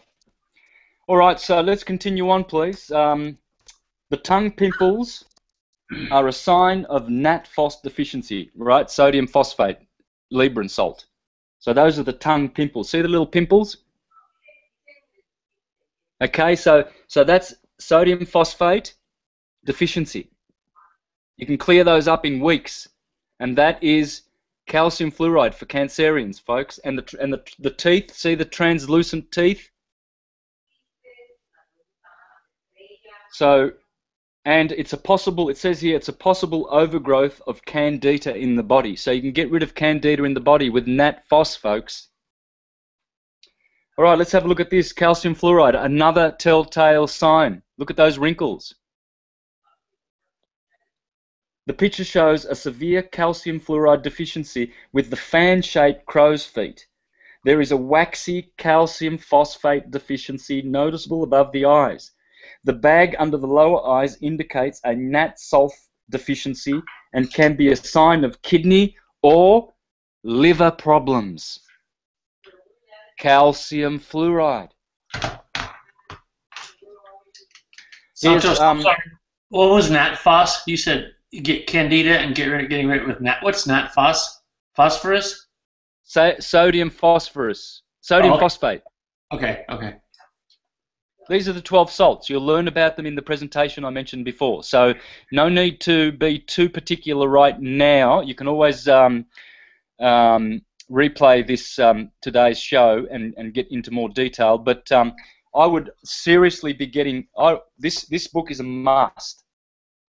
and the three books that I'm showing now, you you got to have those in your library, folks. You've got to have them in your library, and you will be the complete, complete mystic, not philosopher, speculative, materialist, mundane. You will be a transcendental, metaphysical, mystical being, transported to the heavens of divine knowledge. You will have direct knowledge. You won't be speculating in opinions, guys. No more opinions. You will know who you are, and you will know what is what. Um, let me just get all these pictures clearly. So um, calcium fluoride, picture A. I, I missed picture A. I did picture B and picture C. Um, let's do A. The close-up of this eye shows a typical calcium fluoride raised wrinkle in the corner of the eye and the brownish black circle under the eye. The eye has a deep set silica look. Okay, the waxy coloring around the eyes shows a calcium phosphate deficiency. That's calcium phosphate is um, Capricorn deficient. That's Capricorn, the bones, calcium. Calcium good for the bones. Capricorn. So, so what it's saying here is the waxy coloring around the eyes shows a calcium phosphate deficiency. This waxiness covers an underlying red layer of skin. The red layer shows a mag magnesium phosphate deficiency. That's Leo. For all you Leo guys listening, magnesium phosphate. The half eyebrow is a possible indication of hypothyroid condition. The half eyebrow. See that half eyebrow? That eyebrow should be full. See, there's no. It stops here. That is a hypothyroid condition, and magnesium phosphate will correct that. Wow. Okay, let's have a look at the last picture for, cal- for cancer. Um, picture number D. Have a look at this guy. The brownish black circle under his eye exemplifies a calcium fluoride deficiency. Brownish black circle. This man also has a silica deficiency indicated by his deep set eyes. He also has a liver problem, and his yellowish brown liver sign can be addressed by using kali sulfate. So that's potassium potassium sulfate. That is um, Virgo. Potassium sulfate. Yeah, that's Virgo. What was the Libra one again? Potassium sulfate. No, sorry, that's that's Libra. Libra again. Excuse me. What I have. Cal, what what was it The Libra? Calcium sulfate. I had uh, sodium phosphate for Libra. Yeah, sodium, Yeah, sodium. sulfate, calcium sulfate, and silica. Yeah. Sodium phosphate is for Libra. Yes. So that Mhm. that's Virgo. Calcium, um, um, potassium sulfate. Virgo. Okay, so those are the deficiencies, guys. See that you can see it clearly. And everyone, all we have to do is administer salt to our body. Salt, you are the salt of the earth. You can preserve your life. You can preserve your being with salt. It's electric, correct? Sorry? It's electric. It's just electricity, correct? It's electric current, voltage.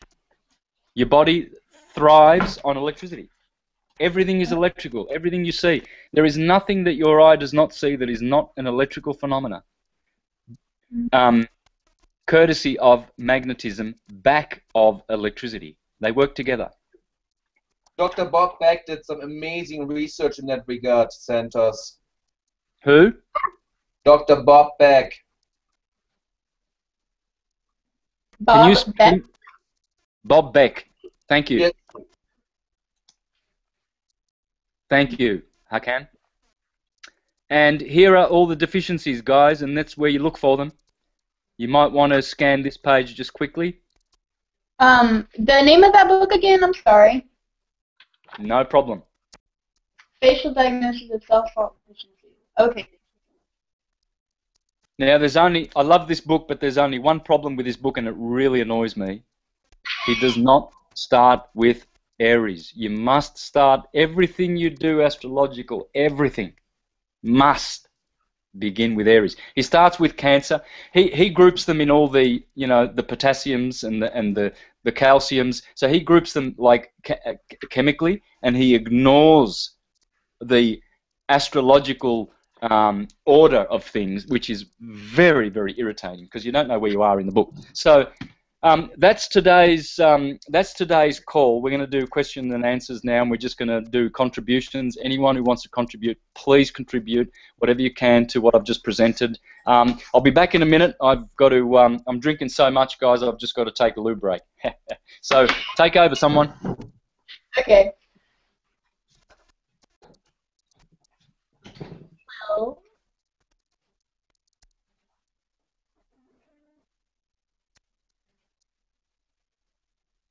And now we're all silent.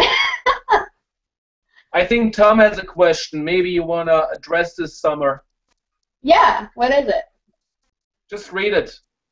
Oh, shoot. Okay. Yeah, let me see it. Uh, my Um, okay, Tom. I really think it's really close-minded to think most extraterrestrials are demons. When we are cosmic beings in some point of the galaxy, I think they're demonic and angelic beings everywhere. Yeah, of course, but um, the thing is, is that because um, Santos has addressed this too. The ones that are interfering, as far as like the Greys and coming here, they're coming up from lower dimensional type of uh, places. So they're more, they're probably 99% demons. Um, uh, the higher frequency, the angelic ones, aren't going to manifest in a dense form. They're going to come to you through telepathy, through your dreams. Now, you can still get psychically attacked by demons, but they're going to probably manifest through people um, as far as like uh, just bodies in general. But you can have heavenly beings come here too, but I just don't think that they're going to interfere the way that we've been interfered with through demonic but that's just And demons may be able to shift into something that looks like aliens too. hmm So that's, there's that. Yeah, we were just ad- addressing uh, Tom's question, Santos, about uh, he was saying like it was he thinks it's really close-minded to think that most extraterrestrial beings are demons when we are cosmic beings in some point of the galaxy. Um, thinks that they're demonic and angelic beings everywhere. I didn't hear you well, man. Um, Summer, can you Oh yeah, yeah. Um, here. I, um, speak, speak into the mic? Can you hear me now? Yeah. Okay, yeah, he was saying uh, he heard that Sirius beings are from Sirius and Pleiades, and um, think that it was really close-minded to think that extraterrestrial beings are demons and stuff. And I completely agree with you, Tom, about the Sirius beings. That is absolutely, um, they are clearly from Sirius.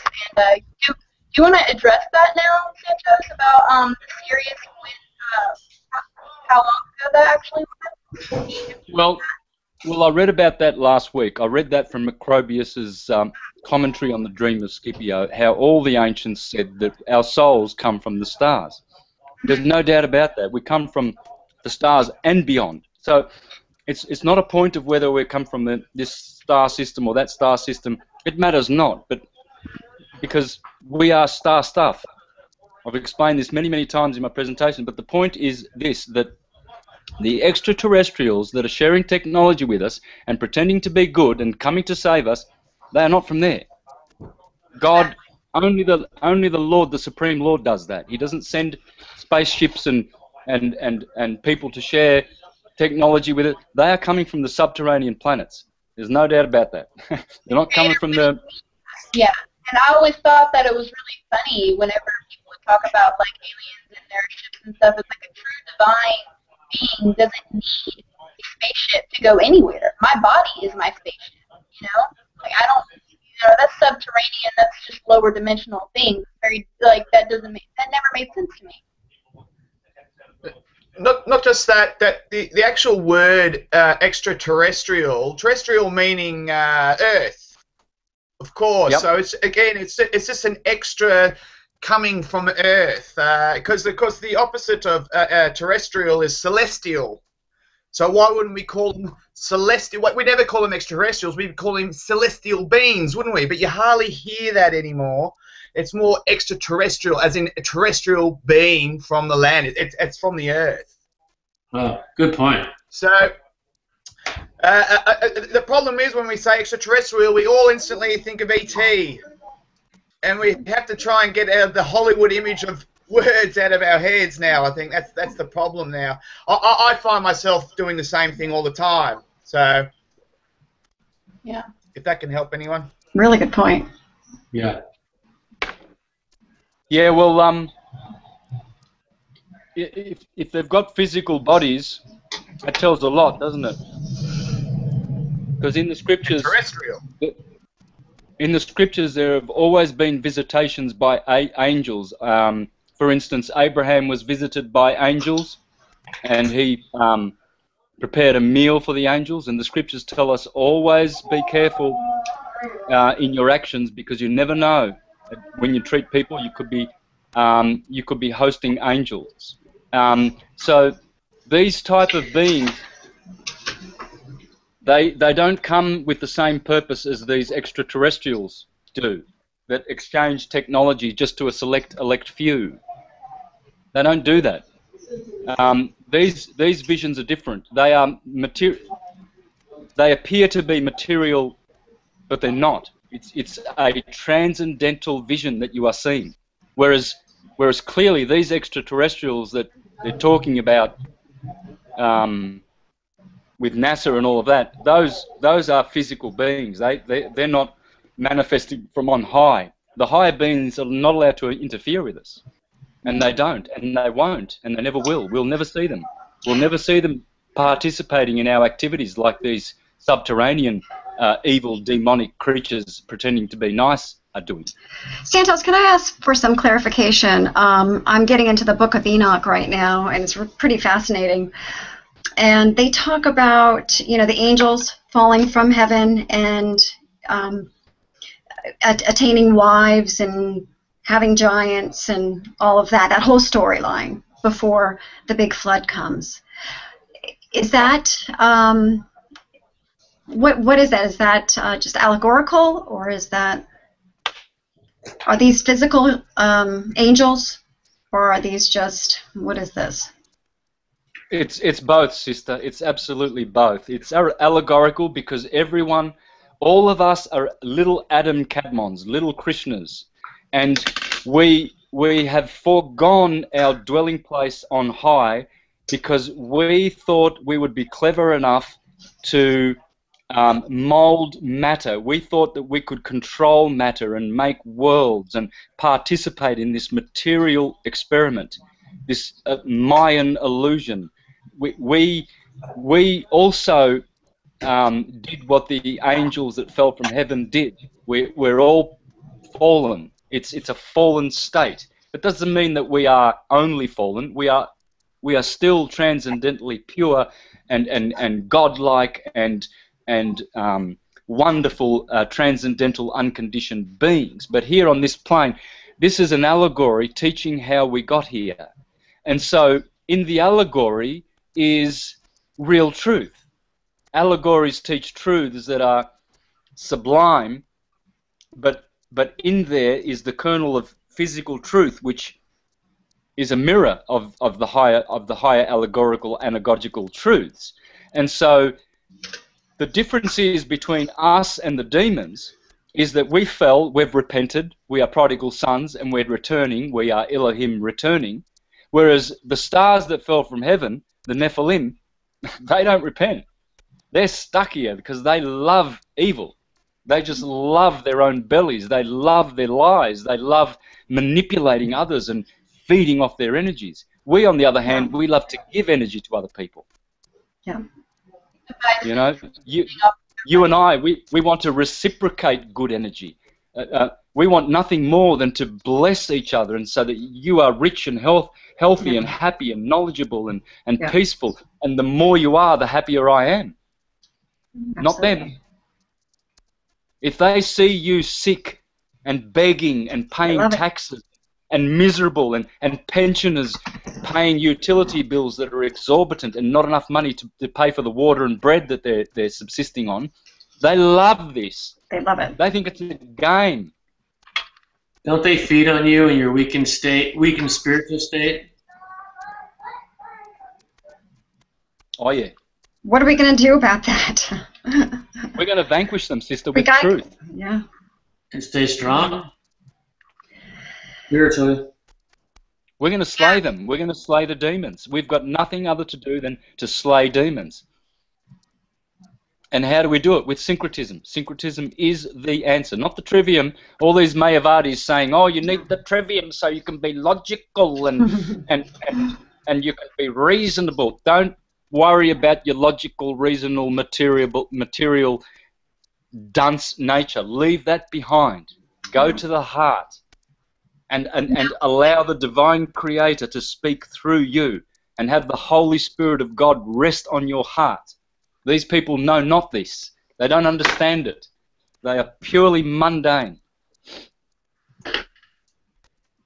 So, Santos, in today's theme, when uh, a lot of people talking these days, they use man as a negative connotation, like, oh, it was great till man got hold of it. You- understand what I'm saying here?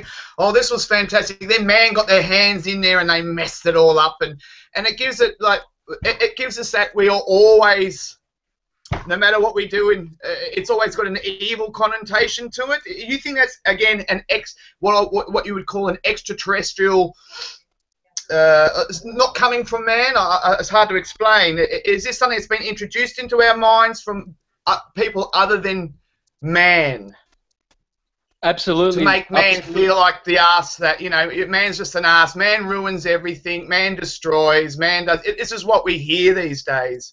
We never hear man is beautiful. Man creates. You know, man gives birth. You know, and so on.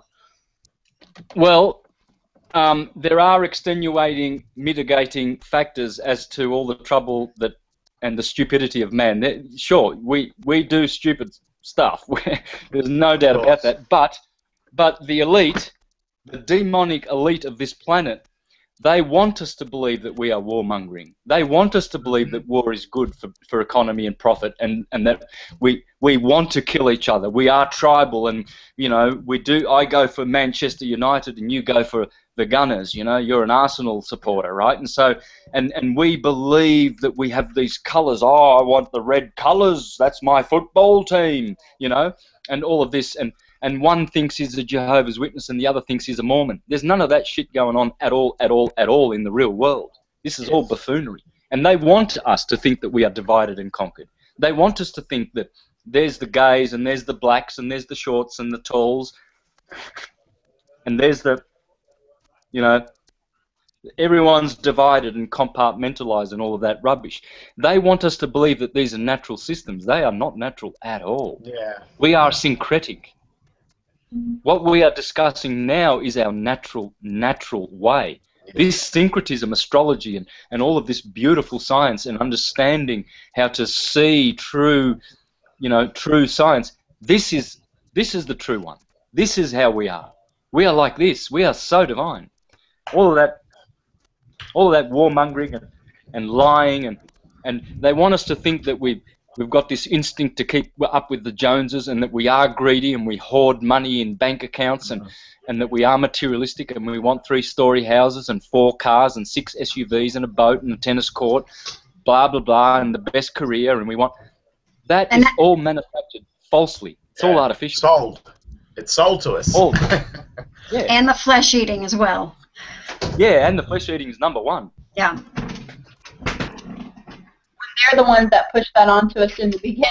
It's not even that it's a natural urge or need. That was something that was indoctrinated by birth. It's, that's not even a real human need At No, all. it's not at all.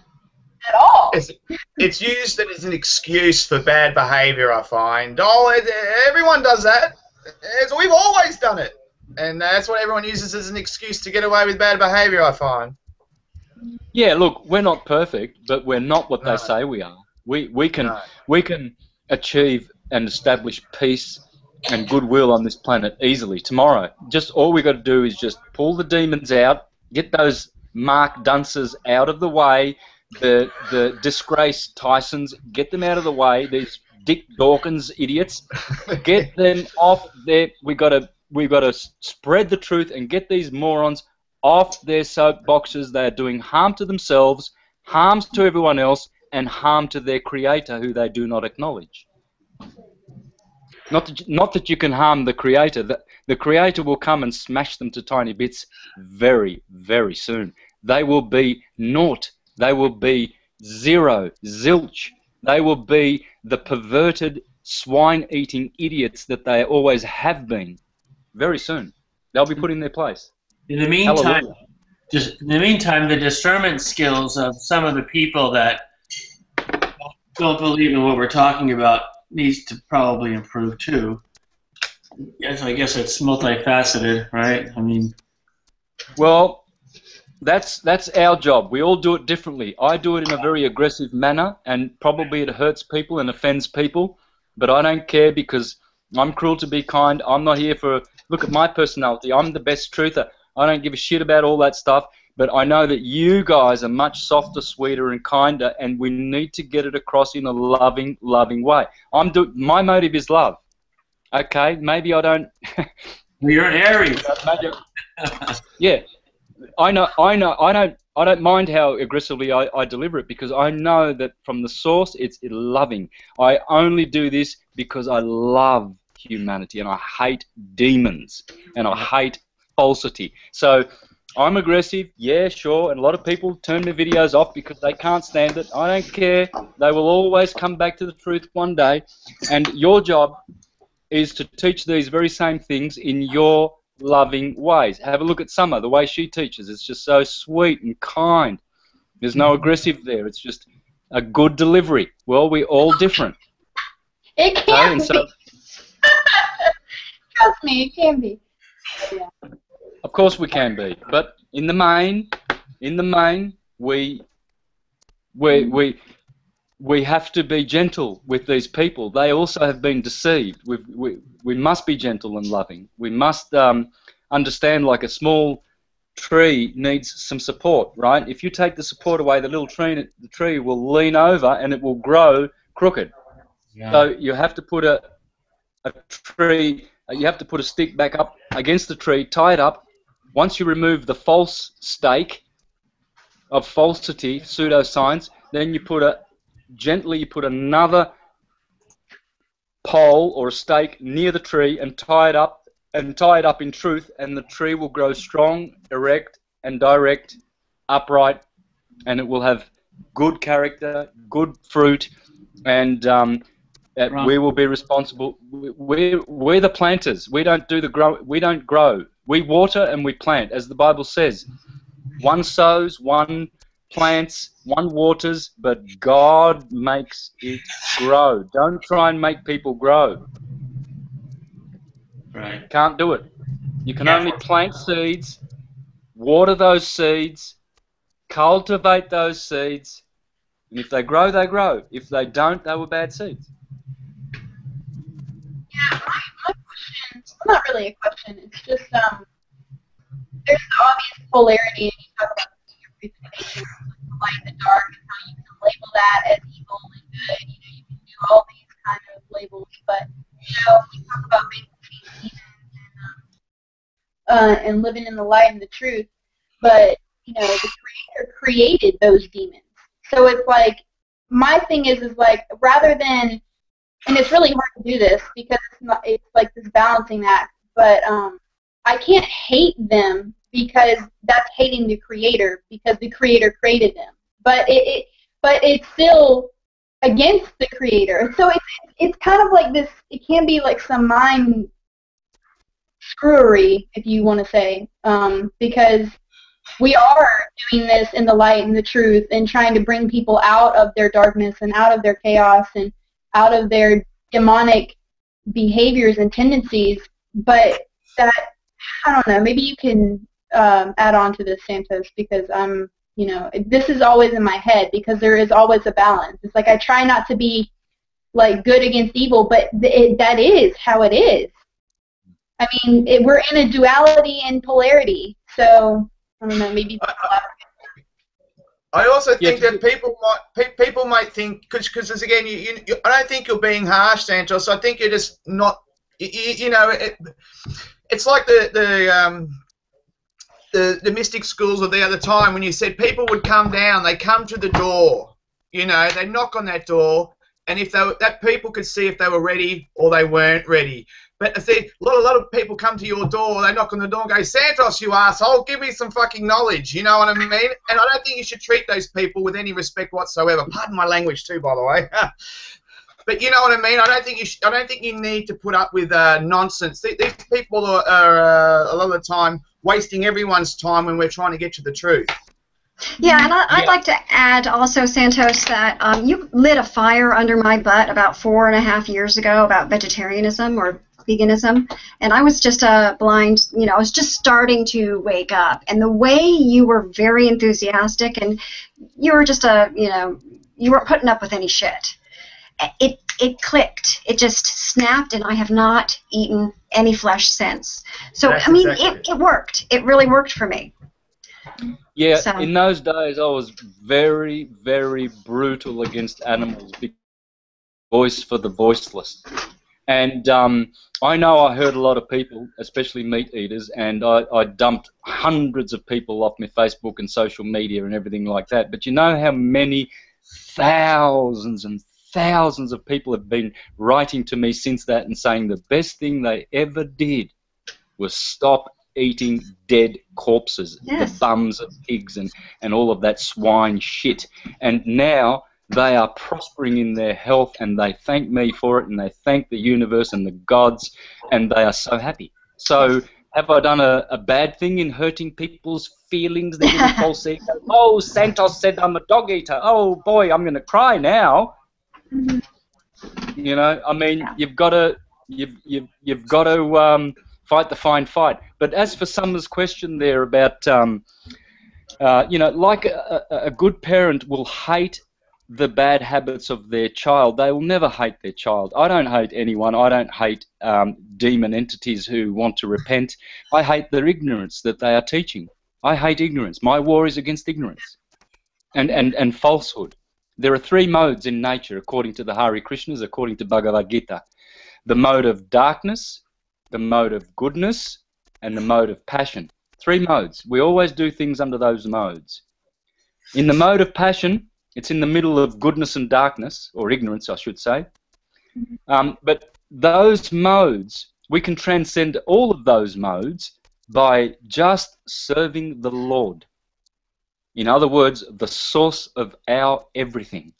Whoever that is, whoever you want to call it, Buddha, Jehovah, Krishna, Christ, it really, in the end, it does not matter. These are names that cannot define and encompass in any way that Oh. divine source, this beautiful mm-hmm. being that shared with us this life that we have. And so, service and surrender to that one is the only way. And so, even those modes, even the mode of goodness, is still karma. We don't want to, we want to transcend karma. And the only way to do that is by chanting the holy names of God and serving God. Whatever you make that to be, it's the source. It's the root cause of all causes, the supreme personality of Godhead. It is a person, it's not an impersonal force. As all the Mayavadis and all the trivium people will tell you, and, and all these New Age gurus who are half, they're mostly just drunks, and they've got nothing better to do and no other way of making money because they're too lazy and sloppy, and so they go out on the on the road touring and being you know New Age teachers, and people flock to them just to be deceived more and more and more, and they're teaching prosperity consciousness and you know attract this into your life and attract that. You don't need all that shit. You, all you need to do is serve truth with your heart. You can't do it with your mind. You can, but it's you got to do it with with your heart. Just bow down to truth. Serve the one, the good and the beautiful, as the Neoplatonists called God. The one, the good and the beautiful. Everything is beautiful from that one. Nothing is ugly. It's all beautiful. And and that one has a personality, qualities, goodness, knowledge, wisdom, love, virtue, power, strength, justice, and we are the receptacles of all of those principles. Our body is the receptacle, a receptacle of all the universal principles. Not one is missing in us. The only thing is that we haven't activated them all. Some have more love than they think they have, and they haven't bothered to develop that love. Look around you. Is there someone who needs love? Don't judge them. Leonardo da Vinci said, "Don't treat anyone kind because unkind because you do not know what they are going through." You can't say a bad word to people. Love them. Look around and see if there's family members who need that extra love. You know, um, instead of just being whimsical and and flippant at times with your loved ones, stop and, and just ask them, How are you? How are you really? I love you. Can I help you in any way? You know, and just pause and, and let the, the glue of the universe come between you and all other beings and show them love. Love really, truly is the one of the most divine qualities. Um, no less than truth, no less than beauty. These are the Holy Trinity love, beauty, and goodness. And we are endowed with this. We are blessed with this. But to the capacity of how much we develop these things. Remember, Jesus, he said, uh, the, the king had three slaves and he gave one one denarii, another one two, and another one five, and he went away and then he said, I'll come back and then I want to see this money when I come back and the, the, the two slaves they were good for nothing and they buried their money because the master was exacting and just. And so they thought well we're not going to lose this money we'll just bury it. Whereas the the good slave he put his money in the banks and he made double the amount. Well we've been given talents. That's what the talent means. We've been given gifts. We've been given precious gems in our souls. And they, they're um, germs that have not germinated yet. And the more we cultivate these, the more we bring back when we go into the heavens. That's why Jesus says, Do not store your treasures on earth where moth and rust consume and where thieves come in and steal. Store them in the heavens where there is no moth, no rust. Yeah, thank you for that. And that's what we're doing. We are storing stuff in our heavenly parts right now. We are learning the science, transcendental science of astrology. Just, I'm going to probably vamp this up to two shows a week, and I'm just going to do um, astrology on on steroids, and we're going to go through the charts of famous people, and we're going to show how the planets have affected them. We're going to we're going to learn how to read charts. We're going to we're going to just all I need is the help. Please, all I'm asking, help me, and I will help you. If I can have, if I can have people around me um, doing shows like this, um, um, Summer's looking after this one. Hakan's looking after lots of stuff. Eden's pretty busy there in the chat rooms and, and, and helping out. If we work out a way to, to, to get this show on the road in a big way, get these shows out there, out there, out there, where people can learn the true science instead of despising the true sciences and going after pseudo gravity, globe, Big Bang, evolution, relativity, Hegelian dialectic, uh, buffoonery. We've got a chance. We've got a big chance. More than a chance. Hakan and, Eden are just like, yeah, let's kick some swine ass. Let's kick some butt and kick some demon butt. We're demon slayers, guys. And we do that through our beauty. We are too beautiful to be subjected to them. We are so beautiful, all of us.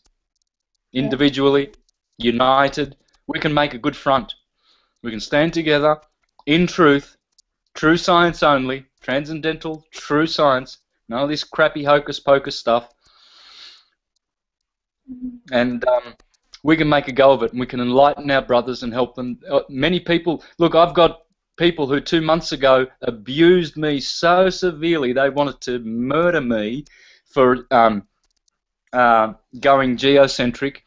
And they've come back and they've said, you know what, Santos, I'm so sorry. I'm very, very, very sorry. Please forgive me. I sent you this nasty email. I told you to go to hell. I want to kill you. I called you a dog. I called you this and called you that. Please forgive me. I now see that we live on a disk plane. There's no globe. It's hocus pocus, and they're waking up. Yeah. And I'm getting this by the hundreds, guys. I'm getting it by the hundreds. I got thousands and thousands of people that wanted to kill me, murder me, tell me I was a dog, and all kinds of attacks. You got no idea what I'm coping with behind the scenes with all the messages that I get and all the naysayers and killers and and like the Christians who went to the Americas and killed the indigenous people because they didn't believe in their Jesus, you know, um, and like the all of them, they're all guilty. Islamists are guilty of it. Jews are guilty of murdering. They're all murderers because they're all materialists. They're not spiritualists. They see their books as material wisdom. So when the Quran says go and kill infidels, well, they go and kill infidels. And when Christians and Jews say Jehovah's saying kill the Canaanite women, dash their children against the the crag, rape them, murder them, they're useless. They physically go and do it. So you've got these Zionists in Israel saying we are God's people and you are dogs and swine and goy and we were meant to rule the earth. Well, this is this is again this is demonic worship and they've been misled by the material, literal renderings of their scriptures. They know not how to see the literary, anagogic part of their scriptures because they are too stupid. They are meat eating, and the animal mentality prohibits them from seeing with their eyes. Their pineal gland is polluted. When the blood is polluted and you've got animal blood in your body, you're gone. There's no hope. There's no ascending. There's no ascending. I have to be clear to all people, even ones who are still dabbling in a little bit of meat eating because they believe they need their protein and their iron and all that bullshit. All of those people need to wake up real quick. You're eating animals. You are, as the Bhagavad Gita says, you are a dog eater and you have no place in the higher realms. You will come back as a dog and be eaten by dogs. Period. No hope. No hope. You need to get rid of the animals. You need seven years of cleansing from animal um, necrophiliac uh, corpses in your body. It's that- necrophilia. Include fish also? Oh, abso- all animals. That's an animal. Yeah. What did you say? I'm sorry, I didn't hear you. It's an animal. All animals. Yep. Fish are animals. Um, what's what? What, are, what is your name? Hibernia? Yeah, yeah. Actually, my name Alan, Alan, but it's Hibernia is just the you know title. So yeah, You said theft, Alan? no, just Alan. No, no, no. You said something that you were saying. Um, that was. I don't know. Never mind. Oh, that's okay. He, he was asking about fish, Summer. He he asked if fish was okay. I was like, what? Only because it's in the Bi- only because it's in the Bible. You know the fish story and you know blah blah blah. Anything Yes, you have. You know, You must. You must understand though that um, this fish eating is is it's all allegoric. Everything in the in the scriptures is literary. The history, the literal historical part of it, it didn't happen. It's all transcendental. Let me show you.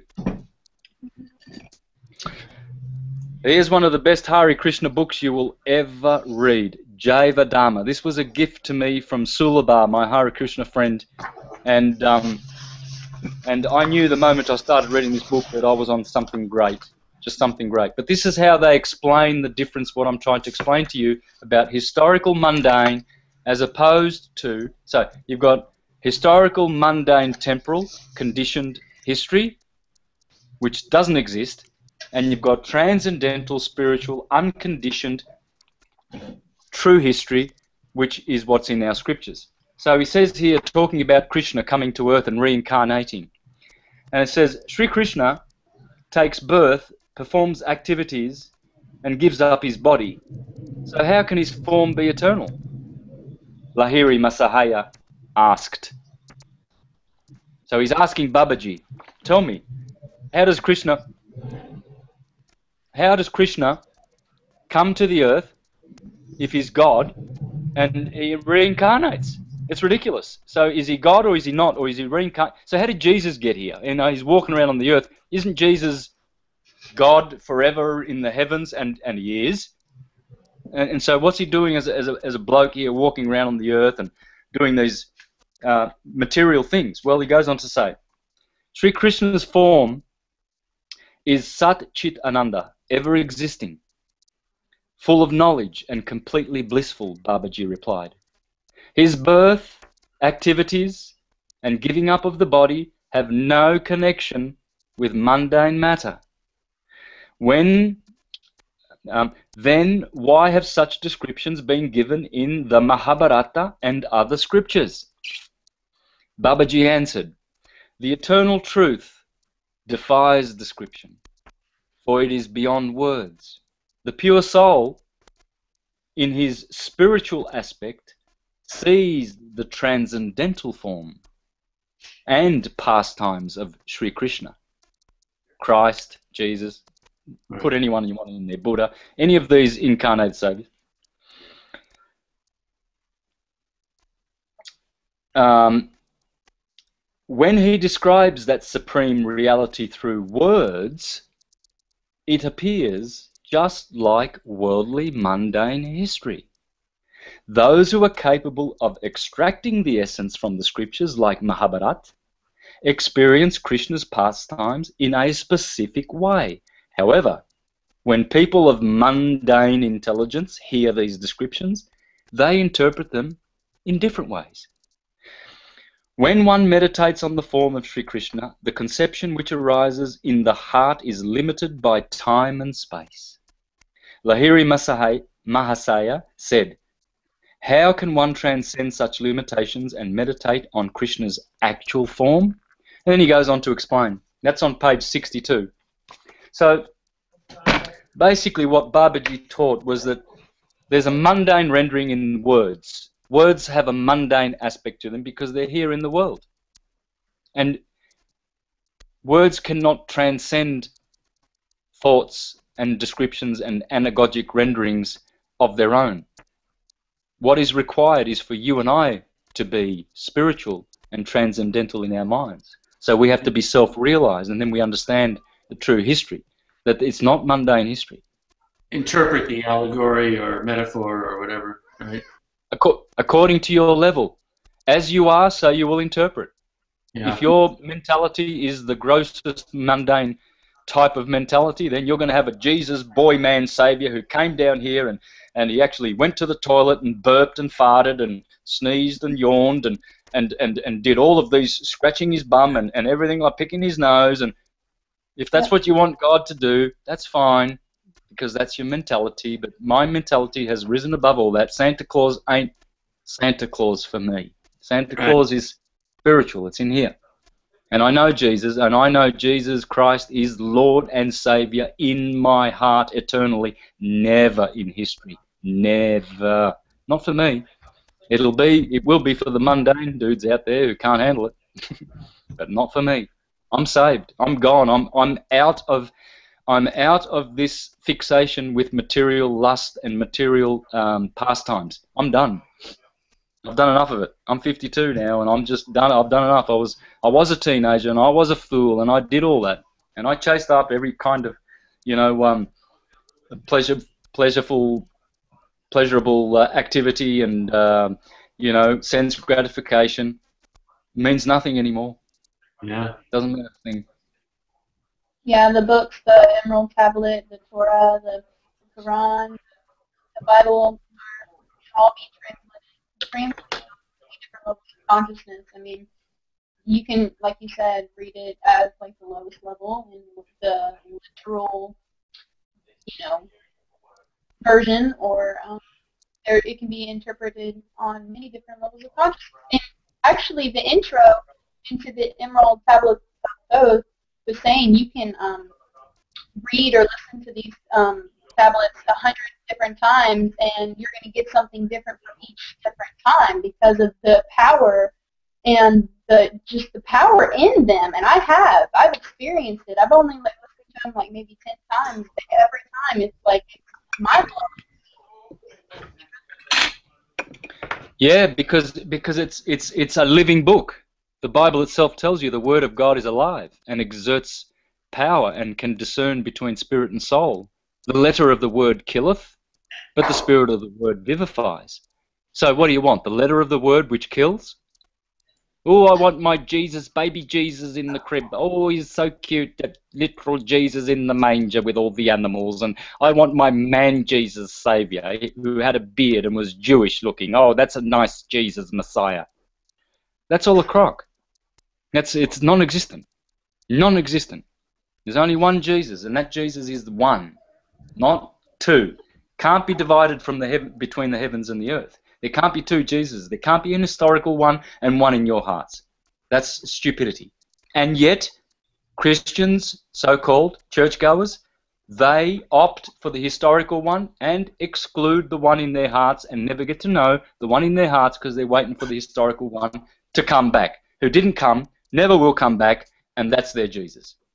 Morons. I'm sure we all deal still with the aspect of having people who, under no circumstances, do want to listen, who point out antagonism against you or against us, while we try to give them actually valuable knowledge. Would you recommend to just kiss them on the forehead and put them back to bed, or um, what is your recommendation? Well, depends what mood you're in. Um, sometimes I just walk away when I'm in a good mood. But when I'm in a demon slaying mood, I give it to them. I torment them, and I give it to them, and I tell them how it really is.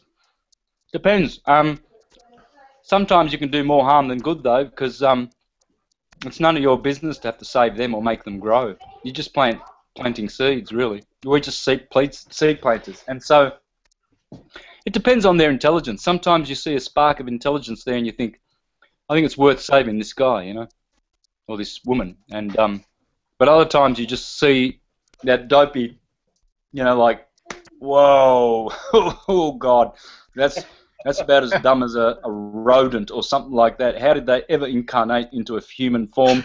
I don't know. Run for your life, because you'll just pollute your own. You'll, you'll pollute your soul. It'll it'll dirty. It'll their filthy, stupid, ignorant attitude will make you dirty. Don't give your pearls to swine, man. Yes. Well, the funny thing is, my, out with that. Like they will just come at you with their demons and it'll entice you because you just you're just so in awe at the stupidity, at the ignorance, at the evilness, and you just want to like you just want to jump on it and like, oh my god, I can't believe this. But and then it's like, holy crap, this is just a trap. This is an energy trap. Absolutely. So yeah, being able to discern for yourself, you know. Summer, Yep. Another question. You might want to address it. Yeah, Tom. Okay, so Santos. Uh, this is from Tom. What about the star Alcyon being mentioned in the Bible several times in, in a book called uh, Sirius by Richmond M. Temple? The author says that the star Sirius has a very high love energy. Hmm. Oh yeah. Sirius is the mother of our son Jesus. Our son is Jesus, and its mother is Sirius. How do I know? Okay, it's easy. Jesus is called Jesus of, Jesus of Nazareth, is he not? Yeah. There it is. Nasir. In Arabic, that means Jesus of Osiris or of Sirius. So Jesus, our hmm. son, is Jesus of- Nazareth, Jesus Nasir, Nasirius. And so she is a she is a glorious star who's probably I, I still think it has something to do with our binary system. There must be a binary system. Our vortex sun is vortexing on the flat plane Earth with another star we can't see, or it's Sirius, or and why do I say that? Well, simple, because Sirius is always up there at the Tropic of Cancer at the top.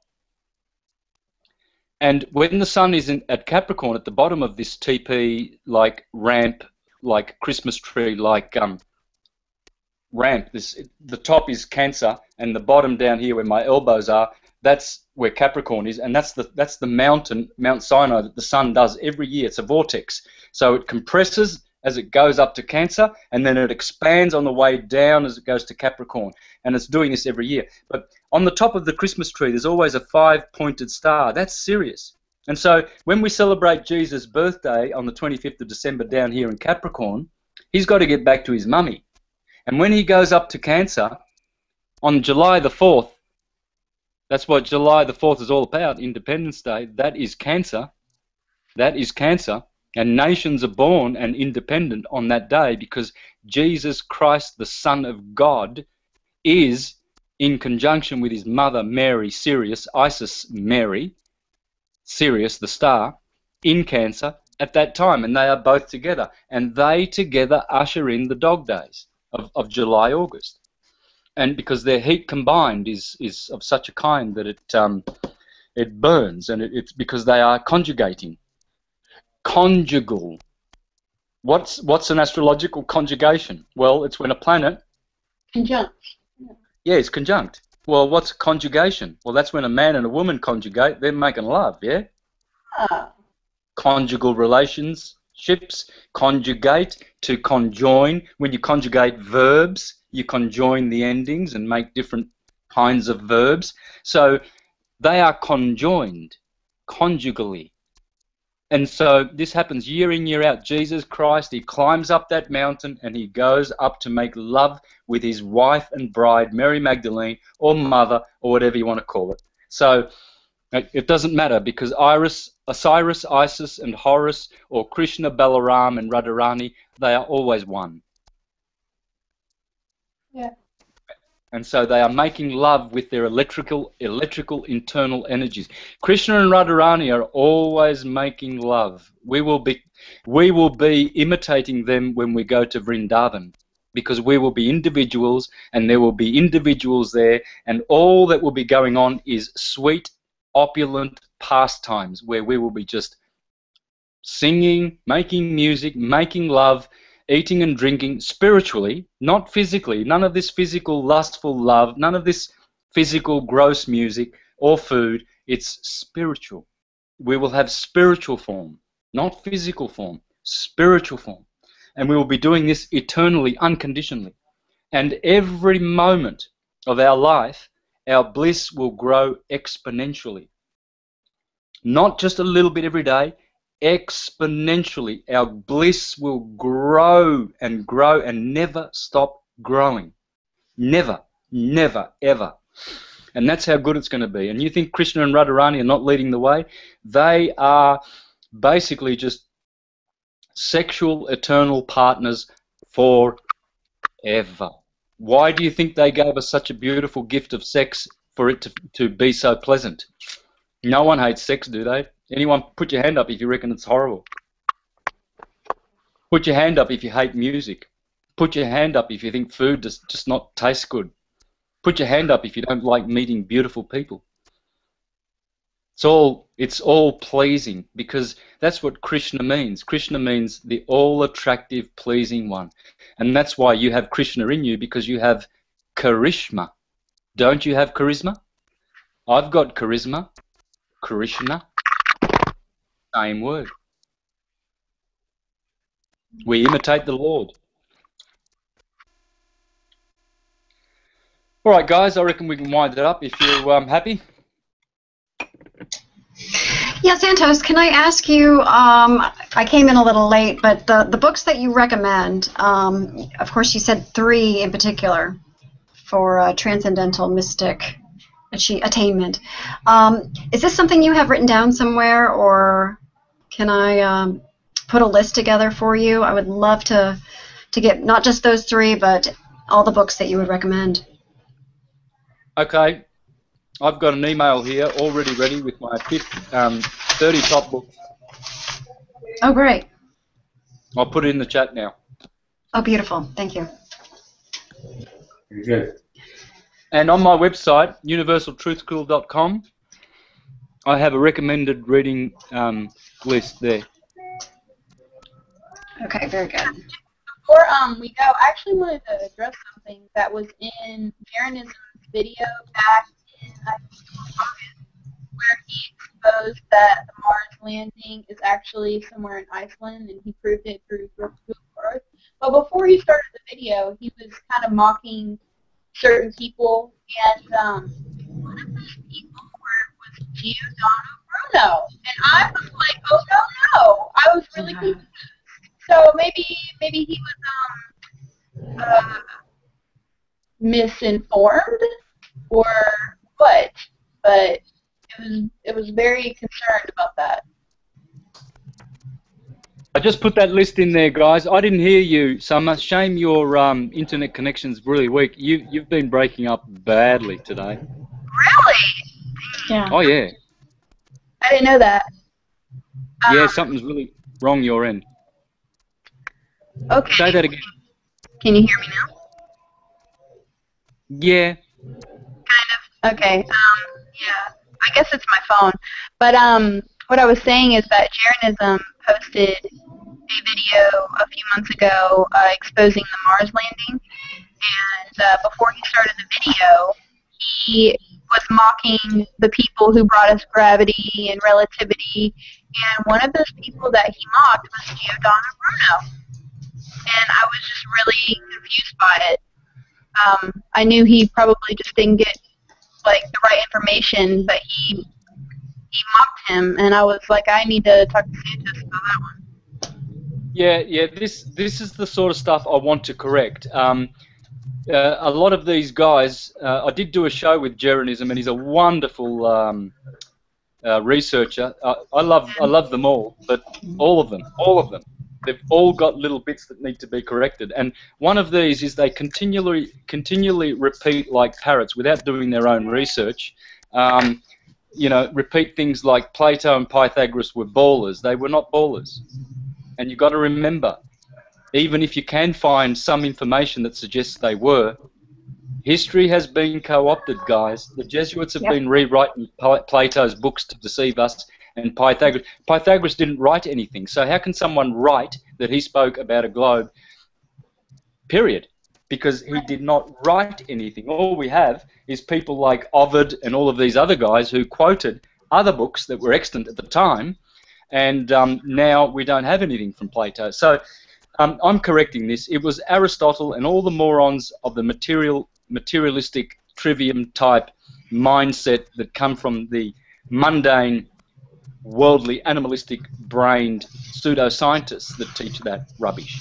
But all your Neoplatonists, rest assured, um, I'll give you some example of some of the Neoplatonists right now. Um, let me go into a, a site that I uh, was reading just the other day. I'll put that in this site. I'm going to put in the chat room, um, and it has to do with some of the great guys from antiquity who um, rubbished the, the globe, and all through history, been there's been this war because since the Iron Age came, we have Iron Aged idiots who have forgotten divinity, who want to preach pseudoscience through demon worship. The demons have always had their pet number one demonic teaching was the globe, because the globe makes everything relative. Oh, we're upside down. I'm upside down here, and you guys are upright, or you're, probably some of you are like this. Others are like that. Others are upside down, totally like me. So I'm upside down here, right? It's hocus pocus. It's demonic stupidity, and people believe it because they paid a lot of money in, in, in their tertiary education to to learn this shit. so they're repeating it, and they're going to stab you in the face if if you offend how much money they paid for nothing to be deceived. But um, here we have the likes of. Let's have a look at some of the guys mentioned here. We've got Cyril of. Hang on, uh, Lactantius of the the third century. He's one of the greats. He says. Um, says here in it is certain that several Christian writers explicitly argued against the spherical Earth. Lactantius calls it folly because people on a sphere would fall down. Saint Cyril of Jerusalem, 3rd century, 4th century, saw Earth as a firmament floating on water.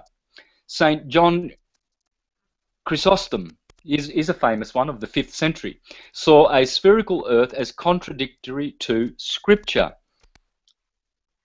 Severian, Bishop of Gabala, and Diodorus of Tarsus argued for a flat earth. And Cosmas, hang on, Cosmas? Well, looky what I've got here. I've got the very book I'm speaking about, Cosmas. And I bought this book um, on the 12th of the 7th, 2010. I always mark the date when I buy my books. So six years ago, here's little old me. I bought this book, Christian Topography, Flat Earth, where he shows clearly the flat earth that looks like the tabernacle of Moses and gives a lot of evidence to suggest that it's a flat plane. This is the 6th century. I bought this so I could rubbish Christians and to show how stupid they are because now we, we you know we've got CGI um, cartoons of, of the earth and it's the sphere. Well now I'm actually using this book and the things therein to show how right they were and the Catholic Church was right for 1500 years before the idiots, Galileo Galilei, Kepler, and all these morons, um, Jesuit psyop, um, changed all that. And so these guys, they knew their stuff. I mean, there's also here, um, there's also the great um, Augustine of Hippo, one of the church fathers, who argued for a flat earth. So Diodorus of Tarsus, Tarsus argued for a flat earth, and Cosmas Indo, called Earth a parallelogram. There you go. Stick that in your Google search. Parallelogram. That's what. That's how he described the Earth, flat and surrounded by four seas in his Christian topography. It's Christian. The Christians know the Earth is flat. They have cognitive dissonance now when they go to church and see a stupid ball there are relatively few historical records of the period between 600 and 1000 for either spherical or flat earth thinking. Saint Basil argued, this is the 4th century again, argued that knowledge about Earth's shape was irrelevant. Well, there you go. See, so you've got these fence sitters who, oh, it doesn't matter, does it? It doesn't matter. You know, why would you want to know where you live? Well, these are idiots who don't know anything about anything diddly squat, diddly squat anyway, and so they're as dumb as a donkey. So why would you follow them? And then why would you follow the other morons who accept demonic pseudoscience when we've got all these beautiful men and women from antiquity? Look at St. Augustine. He says he argued against antipodes, which means podes means feet, and anti means people living on the other side of, of a sphere where, where their feet are upside down to your feet. So it's called antipodes, antipodes. And so he argued against that and called it a fable. And, and, and he also explicitly pointed out that this belief in a spherical earth did not directly imply a belief in antipodes. And this is what he said. Those who affirm a belief in antipodes do not claim to possess any actual information. Guys, this is Augustine. I don't know whether you've, you've Saint Augustine. Please pay attention, man. This is Saint Augustine, the number one church father. Jerome and Augustine and Eusebius. Those three are like the Trinity gods of Christian history. But Saint Augustine is the mother of all. I mean, Every pope, every Catholic has ever had Saint Augustine on their lips. He's the number one. Number one. And he says, they merely conjecture that since the earth is suspended within the concavity of the heavens, and there is as much room on the one side of it as on the other, therefore the part which is bereft cannot be void of human inhabitants. They fail to notice that even should it be believed or demonstrated that the world is round or spherical in form, it does not follow that the part of the earth opposite to us is not completely covered with water, or that any conjectured dry land there should be inhabited by men. For Scripture, which confirms the truth of its historical statements by the accomplishment of its prophecies, teaches not falsehood. Hear, hear. And it is too absurd to say that some men might have set sail from this side and travelled the immense expanse of ocean, have propagated there a race of human beings descended from that first man. So basically, he's just saying it's it's it's you know there's there's no actual factual basis for these buffoon um, teachings and ideologies and concepts and, and, and theories. They're all theories. Relativity's a theory, gravity's a theory, the globe's a theory, evolution's a theory, the Hegelian dialectic is a theory, the Big Bang is a theory. Let us dispense with these stupid, idiotic, moronic, devil worshipping, demonic theories and let us be imbued in transcendental truth. It's right here. I've been sharing it. So look at all these books. Look, it's all here. These are Neoplatonists. These are our these are our God teachers. We can't fail. We've got the truth. There's no globe, there's no relativity, there's no gravity, and I rest my case with Tesla. Tesla said Einstein was a monkey man, which he was, and he, he, he thought his relativity was something to flush down the toilet. So pathetic. And he did not think anything of gravity. He thought that was a ridiculous, nonsensical, idiotic stupidity. And he explained that everything is grace of magnetism and electricity. The Coriolis effect, the tides, tornadoes, every effect you see is an effect of magnetic wisdom. Magnetism is God. It is a conscious being, omniscient, omnipresent. There's nowhere in the universe where there's not magnetism. It's all magnetic. There's no gravity. It's hocus pocus. And we've got to slay these demons, guys. Let's get on. Let's get on with it. Brace yourself with the helmet of salvation the the uh, breastplate of righteousness. Have your feet shod with with you know diligence. We, have got to put our uh, our armor on, as it says in Ephesians. Dress yourself with the the um, the armor of, of God to defend the truth, because we have a war, and it's a spiritual war with the demons in the invisible air of our plane. Mm-hmm. It's a war. No time for resting these people will defend those theories until they die. Like I'm dealing with it right now on my Twitter because Bob retweeted me, and oh my god, at the crap that I have been getting in these past 24 hours. It's like no, it's it, they call it a scientific or it's a theory because it's it's it's facts. I was like, and they would call it scientific facts. like, what are you saying right now?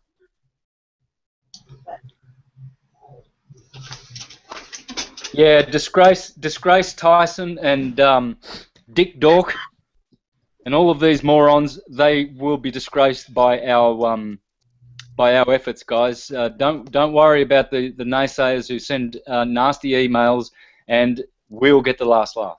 We have the last laugh. We're already laughing. I'm laughing at them. I laugh at them, even though I treat them brutally. I'm, I'm warning I'm warning anyone who wants to send me a nasty email. You send me a nasty email, comes back with interest. Pressed, shaken, and overflowing. I'm Calabrian, I'm Aryan, and I'm not a nice guy. You're going to cop it, and you're going to probably want to commit suicide after I deal with you if you try to debunk or belittle truth. I'm not having it. And so uh, I, I, I feel sorry for all the poor beings that have written to me because I reply with interest. Don't you do it, because I'm gonna I'm gonna suffer the consequences of my behaviour, and I know it's not nice what I do to people, but I tell them in no uncertain circumstances they will never ever try to write back to me and try to belittle truth. Not to me. They'll do it to some other dickhead, some other unconscious moron, mm-hmm. but not me. That's why we love you, Aryan. Yeah, thanks. Mm-hmm. Don't need to copy me, guys. I'm doing what I'm doing. You do what you do. Yeah. We all have our own, Yeah, we all have our own way, and I, if I've done wrong, I'll, I will bear it all. I will bear it all. If I've done right, I'll be rewarded. I don't care. The universe knows that my fight is the fight against ignorance, and how they the universe knows how much I love truth. I always have, ever since I was a little boy. I've had I've been in fights when I was at school uh, as a Jehovah's Witness, trying to sort out the unbelievers. I've always, even at the doors, I've been I've been punched, I've been hit, I've been kicked, at, I've been spat at, I've had water thrown on me, I've had everything when I was a Jehovah's Witness. I've been doing this all my life. I don't stop. I hate demons. Simple. Yeah. So, um, Santos, you mentioned earlier that you wanted to start doing this twice a week. Did you want to have two separate things, one with summer and another one, or a continuation? Um, I don't know. I'll have a think about it. But if anyone there now, right now, listening, can help me, um, I'd like to launch it from my YouTube channel because I've got 50,000 um, subscribers there, and I Yeah. want to do this style with Google Hangout or or whatever. However, if anyone knows how I can do this, how we can get this message out more, Yeah. get on uh, get on Skype to me, please, please offer your assistance. Yeah, I've Any- um, I, tried to walk you through that one thing, but um, we can we, we'll talk about it for sure because um, it's just really simple to set up. It really is. So um, if you want to host it on yours, you know, you have more people following you. So but whatever, Yeah. you know, we'll figure it out. Yeah, and, and I think I want to do I want to do a um, a Monday one. It'll be my Monday, and most of you guys it'll be a Sunday, I guess. But uh, around about the same time on a Monday, maybe a different time. Maybe we could do a an evening for me, so I can get the Europeans. So I might cater for the Europeans on the other one, and this one will keep it here for the uh, Americans because it suits the Americans. It's a nice evening time for them, but the Europeans it's about four in the morning. So I'll do a second one, and um, on that second one, I think I might just deal with um, how to read the chart, and we're just going to do we're just going to learn the science of astrology. Whereas this one, I'll keep it um, to cosmology, syncretism, uh, geocentrism, and all of that. Whereas the other one, I want to devote just to astrology. So anyone listening that can help, please, please help me. Yeah. I just need help. I'd be doing this 24 hours a day with the right help. And and and I'm only scratching the surface. There's so much here. There's so much to share.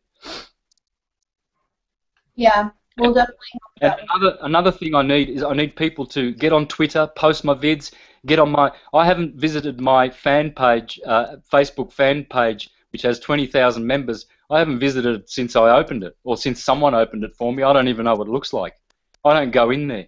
I don't have the time. And I need someone to get on there, bang, bang, bang, post all my videos. Someone to, to help me with Zoo, Face Uni. I just just put your hand up, guys, please, please. You'll, you'll do the world a favour because I've got the goods. I've got the information. If Yeah. you've got the technical tech, technical know-how and the will and the time, help me to help the world. Yeah, I'm more than happy to help. I believe school was a great idea too. This will grow big time. It I will. think there's an element of helplessness you feel when you are awake and you feel like you've got all this information and there's nothing you can really do with it. So it's really an empowering thing to think that you can actually get in there and make a difference. So I'm uh, totally open to helping. Please, please. Look, I've got, um, as I mentioned on the Greg uh, Greg Carlwood show show back in uh, June uh, last year when I was about to release my 22 PowerPoint presentations, I announced there that I was going to do that in August, and of course uh, I got taken away and put in a cage for seven Yeah. weeks. So that set, that set me back about six months, but I didn't lose my information, not all of it. And those presentations, I'm very lucky that I saved them. And um, well, here's here's some of the uh, titles of those presentations. Have a look at this. I mean, again, if I had some help, I would release them now, all of them. Every day I would release one. This these are the um, these are the titles. Have a look at this, right? Uh, where are we? Okay. The holy days, all of the key holidays of significance along the ecliptic. The Lamb of God, the universe is a lamp, lamb. The Sun, S-O-N slash S-U-N in history. Ascension and the Chrism. Astrology, the Word of God. The Holy Science. Electricity, God. The Age of Aquarius. Glastonbury Zodiac and Syncretism. Nursery rhymes, fairy tales, and syncretism. The Kingdom of Heaven. The king and the priest, sovereignty and spirituality. That's one that is uh, particularly dealing with sovereignty and law.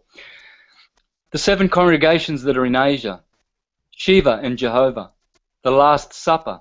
I go through and, and, and go through all the details of Leonardo da Vinci's Last Supper, showing it to be astrological. Astrology body types. The science or art of gospel writing. Life and the golden section, the Fibonacci section, or um, rhythm, whatever. The astrological chart of Sri Rama, the syncretism of duality in unity, the 12 tribes of Israel. Now, how would you like to get that on your on your desktop? Yeah. That, those are those are presentations fully ready to be. So, I've got astrology to teach. I've got those 22 presentations to release. I've got it's just coming out of my ears, man. It gives me a headache sometimes. I just need help. I, I will invite people to come and stay here for weeks on end, but they have to they have to be on the case, you know, and on the computer. I've got good internet um, service, and we have to get stuff out, help, you know, in syncretism, making websites. I need tech, people with technology, not people who just want to come around and just pretend to help, but people who can help, Mhm. people who can help me um, you know, set up my uh, all of my social media so that it's linked up, so that I maximize hits. People that can help me make my YouTube channel better. No one's doing any of that. I'm not because I, I don't know how to do it. So I've just got stuff just you know working on you know two or three pistons. Mhm. It's frustrating. I'm going to stop the broadcast right now. We're going to continue to talk about this, but I'm going to stop it just for right now. So, yeah. Thank you. Yeah, no problem.